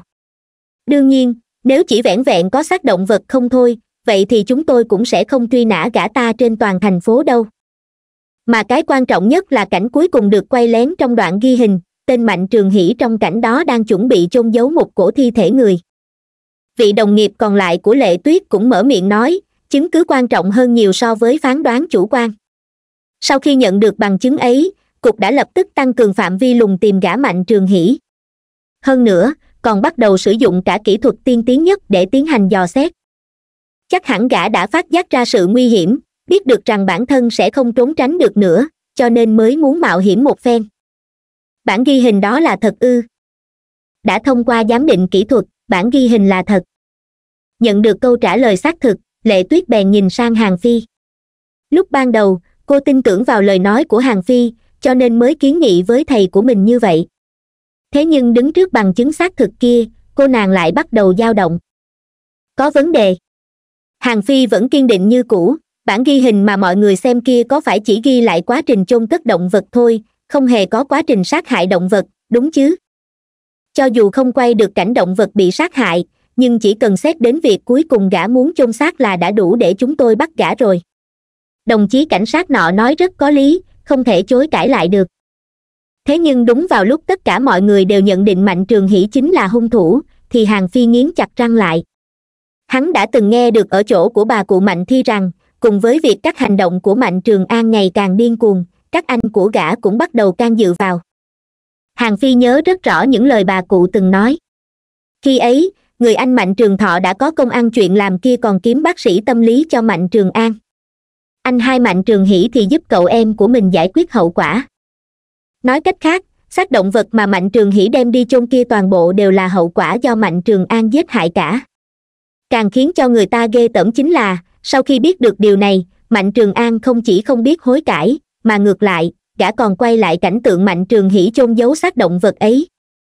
Ngay từ lúc còn nhỏ như vậy mà gã đã biết lợi dụng lòng yêu thương của anh trai mình để giá họa mọi tội lỗi lên người anh ấy nếu so sánh với vẻ bề ngoài sáng sủa, đẹp trai của mạnh trường an, vậy thì gương mặt có vết bớt của mạnh trường hỷ sẽ khiến người ta có ấn tượng không tốt ngay từ đầu. Kể từ khi mạnh trường an bắt đầu truy tìm cánh bướm, có khả năng gã đã coi mạnh trường hỷ là kẻ chết thay cho mình rồi. Nghĩ đến đây, hàng phi cũng hiểu ra một chuyện khác nữa. Mạnh thi là người hiểu rõ ba anh em nhà này nhất, cho nên bà nhất định phải chết. Ban đầu bên phía cảnh sát tìm ra manh mối trong nhà của mạnh trường hỷ chắc hẳn là do mạnh trường an cố ý lưu lại. Con ác quỷ này đã sớm lên kế hoạch cho tất cả. Gã vẫn luôn nắm được nhược điểm của mạnh trường hỷ. Một khi sự việc bị bại lộ, gã sẽ gửi những chứng cứ này đi. Điểm khiến cho người ta không thể phản bác được chính là, những chứng cứ này cũng đều là sự thật. Trên người mạnh trường hỷ có tội, song kẻ thủ ác chân chính không thể dung thứ lại là mạnh trường an mọi người hãy nhìn cái này đi. Một đồng chí cảnh sát lại tìm ra một bức bản đồ vẽ bằng tay trong một góc tài liệu. Bên trong chú thích vị trí của hầu hết camera giám sát tại quảng trường quốc tế, thậm chí còn trù tính ra một con đường tương đối an toàn nữa. Thẻ căn cước công dân đánh máy được chuẩn bị chuyên biệt cho những người bị tàn tật. Giả dụ như một số công dân bị hủy hoại gương mặt, không thể tiến hành nhận biết bằng khuôn mặt được, hoặc một số người mù không tiện nhận diện đồng tử vân vân chiếc thẻ căn cước công dân của mạnh trường hỷ không biết được lấy từ chỗ nào. Nếu như lai lịch của chiếc thẻ ấy có vấn đề, nhiều nhất là trong vòng năm phút thì hệ thống đã có thể phát hiện và cảnh báo rồi. Nói cách khác, sau khi vào trong hội trường, gã chỉ có thời gian năm phút đồng hồ để hoàn thành việc mưu sát kia. Xét về mặt thời gian, con đường mà hắn trù tính ra có thể hình dung bằng hai chữ hoàn hảo. Đã nắm rõ được phương án hành động cụ thể của đối phương hai đồng chí cảnh sát nọ lập tức hành động ngay. Nhìn tuyến đường giết người kia, hàng phi lại không hề rời đi. Hắn đổi góc độ khác để suy nghĩ. Nếu như bản thân muốn đi làm loại sự tình kiểu này, sau khi ghi nhớ tuyến đường rồi sẽ nhất định hủy hết thứ này chứ không lưu giữ lại làm gì. Có cảm giác mạnh trường hỷ đang cố ý lưu lại những thứ này. Có khả năng ông ta đã chuẩn bị sẵn sàng cho việc nơi này sẽ bị phát hiện ra. Nếu là vậy địa điểm mà ông ta đến nhất định không thể nào là địa chỉ đã xuất hiện trong tài liệu kia. Ngoài ra, mạnh trường an rõ ràng biết công cuộc truy tìm của cảnh sát sẽ tạo áp lực rất lớn cho mạnh trường hỷ, vậy mà lại sớm công khai tin tức, lớn tiếng báo tham gia buổi triển lãm giới thiệu sản phẩm mới. Gã ta tựa như đang cố ý dẫn dụ mạnh trường hỷ đến giết mình vậy. Hai anh em nhà này đều không phải kẻ ngốc, ắt hẳn đều có thể đoán ra được suy nghĩ của đối phương cả. Chỉ có điều, mạnh trường an sử dụng dương mưu mạnh trường hỷ không đi giết gã thì có khả năng sẽ mất đi cơ hội cuối cùng. Dưới tình huống như vậy, mạnh trường hỷ biết lấy gì để phá cục diện này. Nghĩ đến đây, hàng phi lại nhìn về phía bức ảnh của mình. Tại sao mạnh trường hỷ lại viết dòng chữ nước đi cuối cùng ở mặt sau bức ảnh của mình? Có khả năng hung thủ còn muốn gây án thêm lần nữa. Mấy vị đồng nghiệp trước đây của lệ tuyết bắt đầu báo cáo lên cấp trên theo đúng quy trình. Trên danh nghĩa bảo vệ hiện trường bọn họ bèn đứng gác ngay trước cửa hang động, liên tục gọi điện thoại đi. Phát hiện ra tung tích của mạnh trường hỷ là một công trạng lớn, cho nên hai vị cảnh sát nọ có thái độ rất tốt đối với hàng phi. Song theo bản năng, bọn họ vẫn chặn hàng phi ở bên ngoài hang động. Điều này chứng tỏ các đồng chí đây vẫn chưa hoàn toàn tin tưởng hàng phi. Những việc tiếp theo cứ giao cho chúng tôi là được rồi. Đội chi viện của phía cảnh sát cũng chạy đến ngay sau đó hàng phi nhìn chằm chằm bức ảnh kia của mình, vừa hay hắn cũng chẳng dự tính tiếp tục ở lại đây làm gì. Có thể giúp ích được cho các anh chị là được rồi. Vậy tôi không ở lại làm phiền mọi người nữa. Hàng phi là một diễn viên chuyên nghiệp, lại thêm việc bản thân được rèn luyện trong game, cho nên người khác rất khó có thể đọc được nội tâm của hắn thông qua sự thay đổi biểu cảm. Ngoài mặt, tất cả mọi người đều vui vẻ hòa hảo. Thế nhưng trên thực tế, hàng phi đã có dự định khác cho mình lệ tuyết, chị có thể đưa tôi về không? Được. Hai người đầu tiên phát hiện ra hang động lại là người rời khỏi đó sớm nhất. Lệ tuyết lái mô tô đưa hàng phi về lại khu vực phố cổ. Trên suốt đoạn đường, chẳng ai nói với ai lời nào. Mãi cho đến khi hàng phi xuống xe, lệ tuyết không nhịn được nữa mới mở miệng hỏi. Có phải là cậu vẫn cho rằng hung thủ là mạnh trường an? Sự hoài nghi của tôi đối với mạnh trường an không hề giảm bớt. Chỉ có điều các chị nói cũng không sai. Mạnh trường hỉ chôn cất đám xác kia là thật, gã ta đích xác là đã phạm tội. Hàng phi trả mũ bảo hiểm lại cho lệ tuyết, không nói thêm điều gì nữa. Chờ sau khi lệ tuyết rời đi, hàng phi nhìn tòa chung cư trước mặt, thọc tay vào túi quần, chạm vào cây chích điện. Nếu đổi lại là người khác, khi biết tình trạng bản thân có thể đang bị theo dõi, đoán chừng sẽ rất khó có thể bình tĩnh đi vào lối hành lang về nhà mình một cách bình thường như thế song hàng phi thì không như vậy. Hắn đã từng bước vào cái hành lang đáng sợ, khủng khiếp hơn thế này cả trăm lần rồi cơ mà.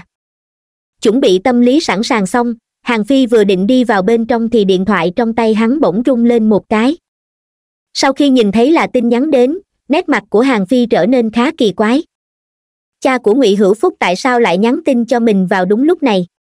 Chỉ mới nghĩ thoáng qua, hắn đã nhanh chóng hiểu rõ điểm mấu chốt trong ấy bản thân là người nằm trong tầm chú ý trọng điểm của phía cảnh sát, xung quanh chỗ ở được bố trí camera giám sát chặt chẽ. Mạnh trường hỷ nếu muốn gặp mình tại chỗ này sẽ rất khó khăn. Cho nên biện pháp hữu hiệu nhất chính là dời địa điểm đến một chỗ khác, và phải nhờ sự trợ giúp của người thứ ba thì mới hoàn thành được cuộc hẹn gặp mặt này. Giả sử người trước đây theo dõi mình chính là mạnh trường hỷ, vậy thì khẳng định là gã ta đã biết mối quan hệ giữa mình và cha của ngụy hữu phúc khá tốt thậm chí còn đích thân đáp ứng sẽ chăm sóc cho ông cụ nữa. Nhấn vào tin nhắn, nội dung bên trong rất đơn giản, cha của ngụy hữu phúc muốn gặp mặt hắn. Không nói lời dư thừa thì cũng sẽ không có chỗ sơ hở. Hàng phi lập tức trả lời tin nhắn cho đối phương, sau đó vội vàng đi về phố bắc của khu phố cổ. Băng ngang qua trường quay bộ phim hoa tội ác, khoảng sân bên ngoài khu nhà ở đó rất vắng vẻ ảm đạm, cả đoàn phim đều không làm việc. Đạo diễn khương không quay tiếp à?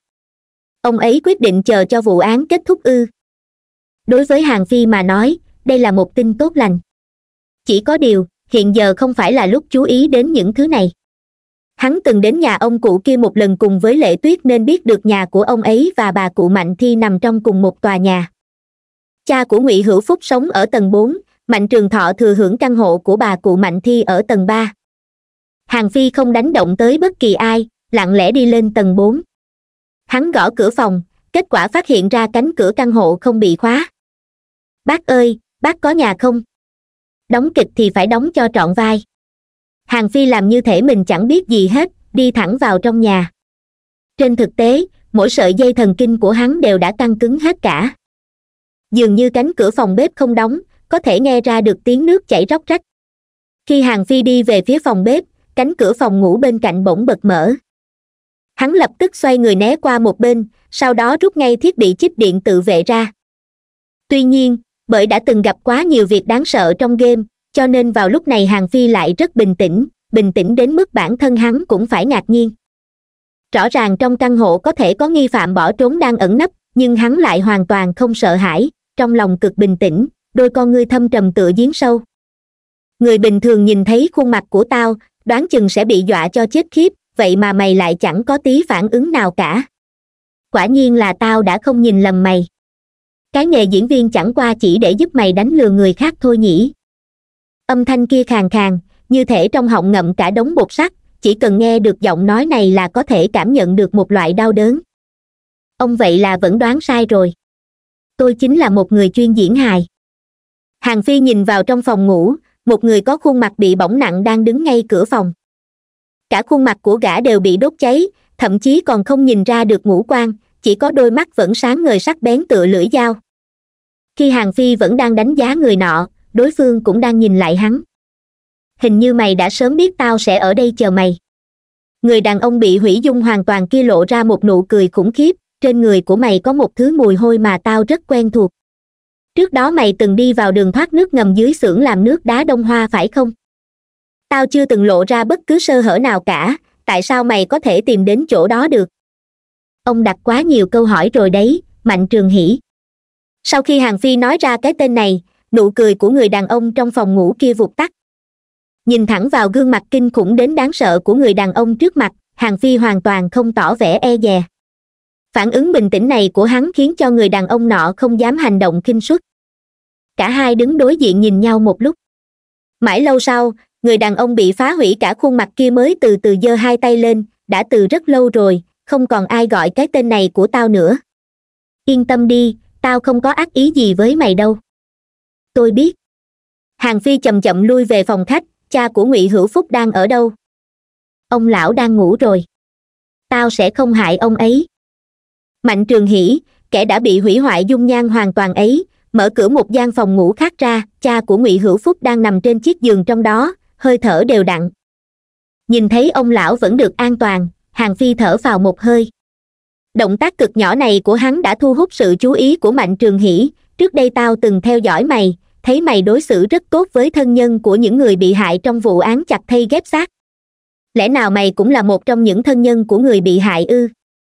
Hàng phi nhớ lại mấy người bạn sống cùng nhà trong căn hộ ma ám, khẽ gật đầu, tôi có lý do nhất thiết phải bắt cho bằng được hung thủ qua điều tra của tôi, khả năng mạnh trường an là kẻ bị tình nghi gây án rất lớn.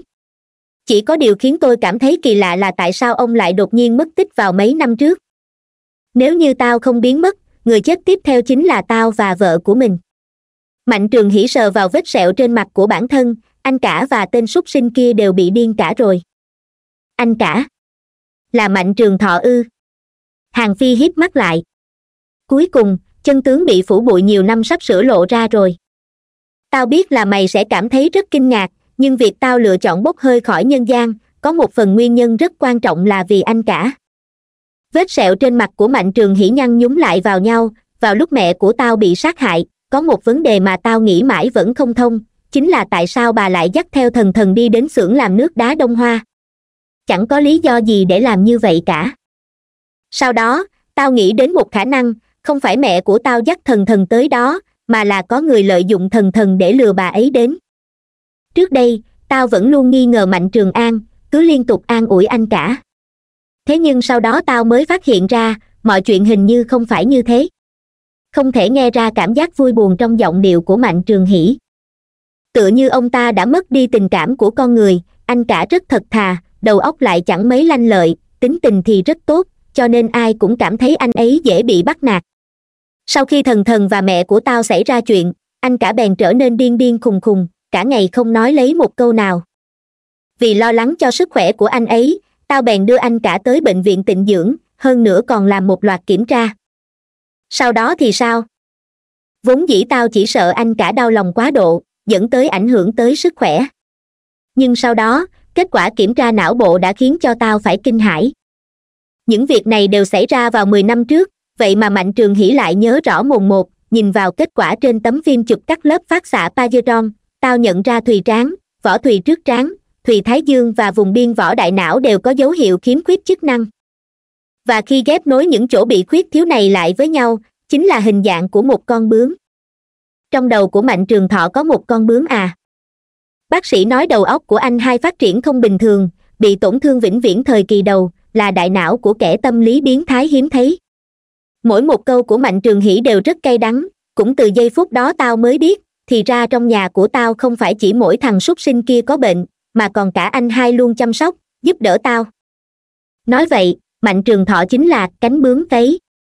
Hàng phi rất ngạc nhiên, và sau khi nghe được câu này của hàng phi, mạnh trường hỷ cũng rất kinh ngạc, mày cũng biết về cánh bướm à tôi chỉ biết mạnh trường an luôn tìm kiếm một cánh bướm nào đó, nhưng cụ thể cánh bướm cấy là gì thì tôi không rõ lắm hàng phi rất tập trung, dự định ghi nhớ kỹ mọi câu nói của mạnh trường hỷ.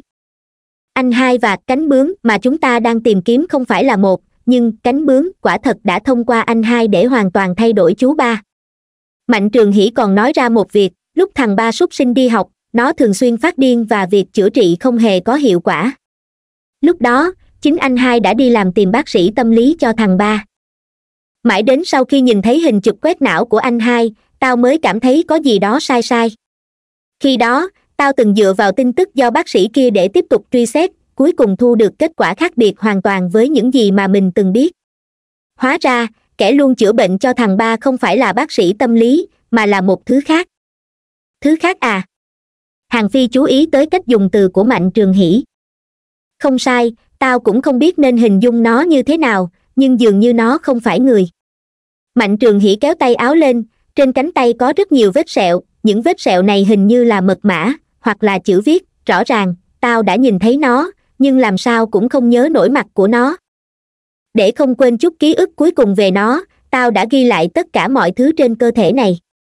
Nhìn những vết sẹo trên cánh tay của mạnh trường hỷ, mí mắt của hàng phi khẽ giật, ông đúng là rất ác với bản thân mình. Trước khi gặp mày, tao không có con đường nào khác có thể đi.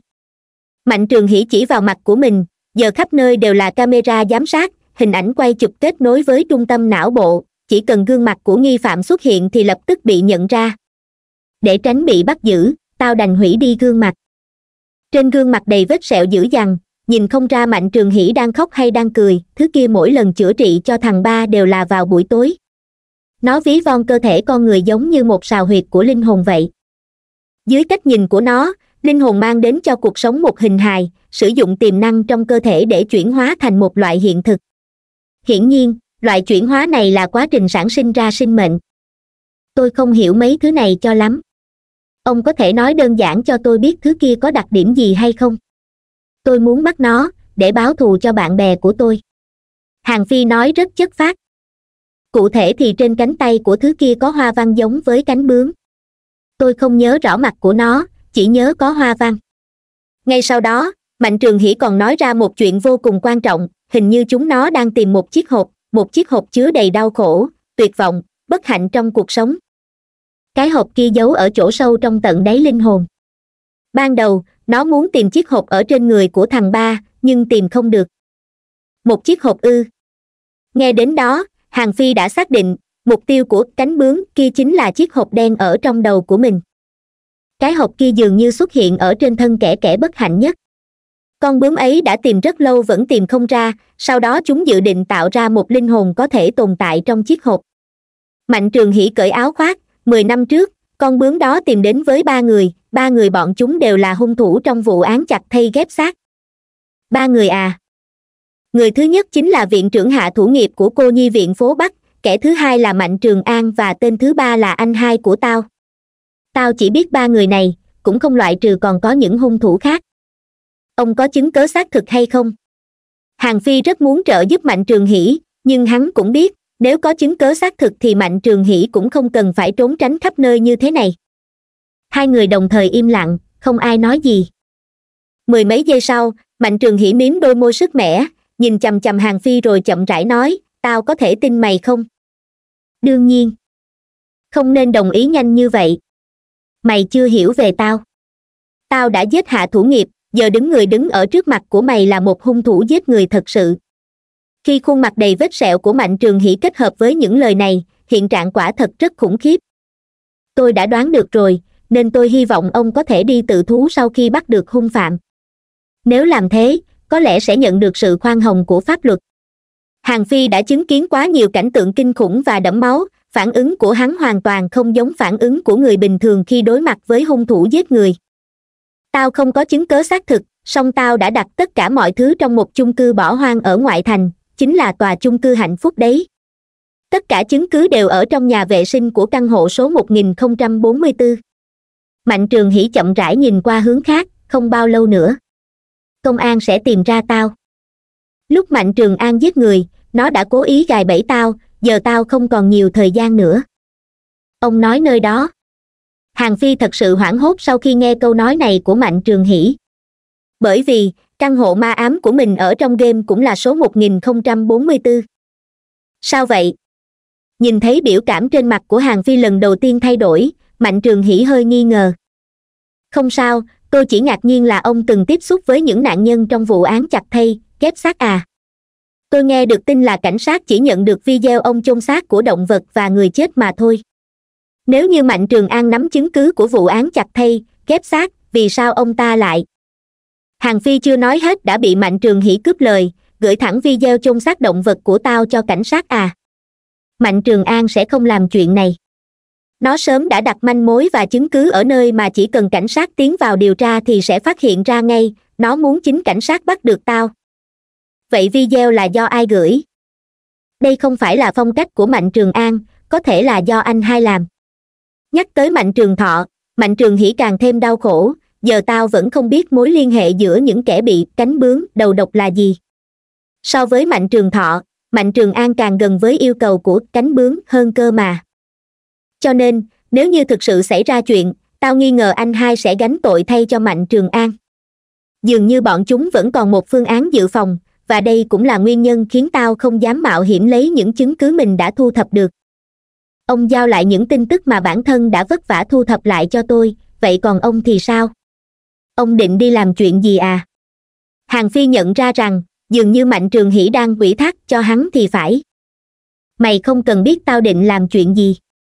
Mày chỉ cần nhớ kỹ địa chỉ mà tao vừa nói là được. Mạnh trường hỷ nhìn chằm chằm hàng phi, nếu như tao chết mày cứ giao mấy món đồ ở đó cho công an.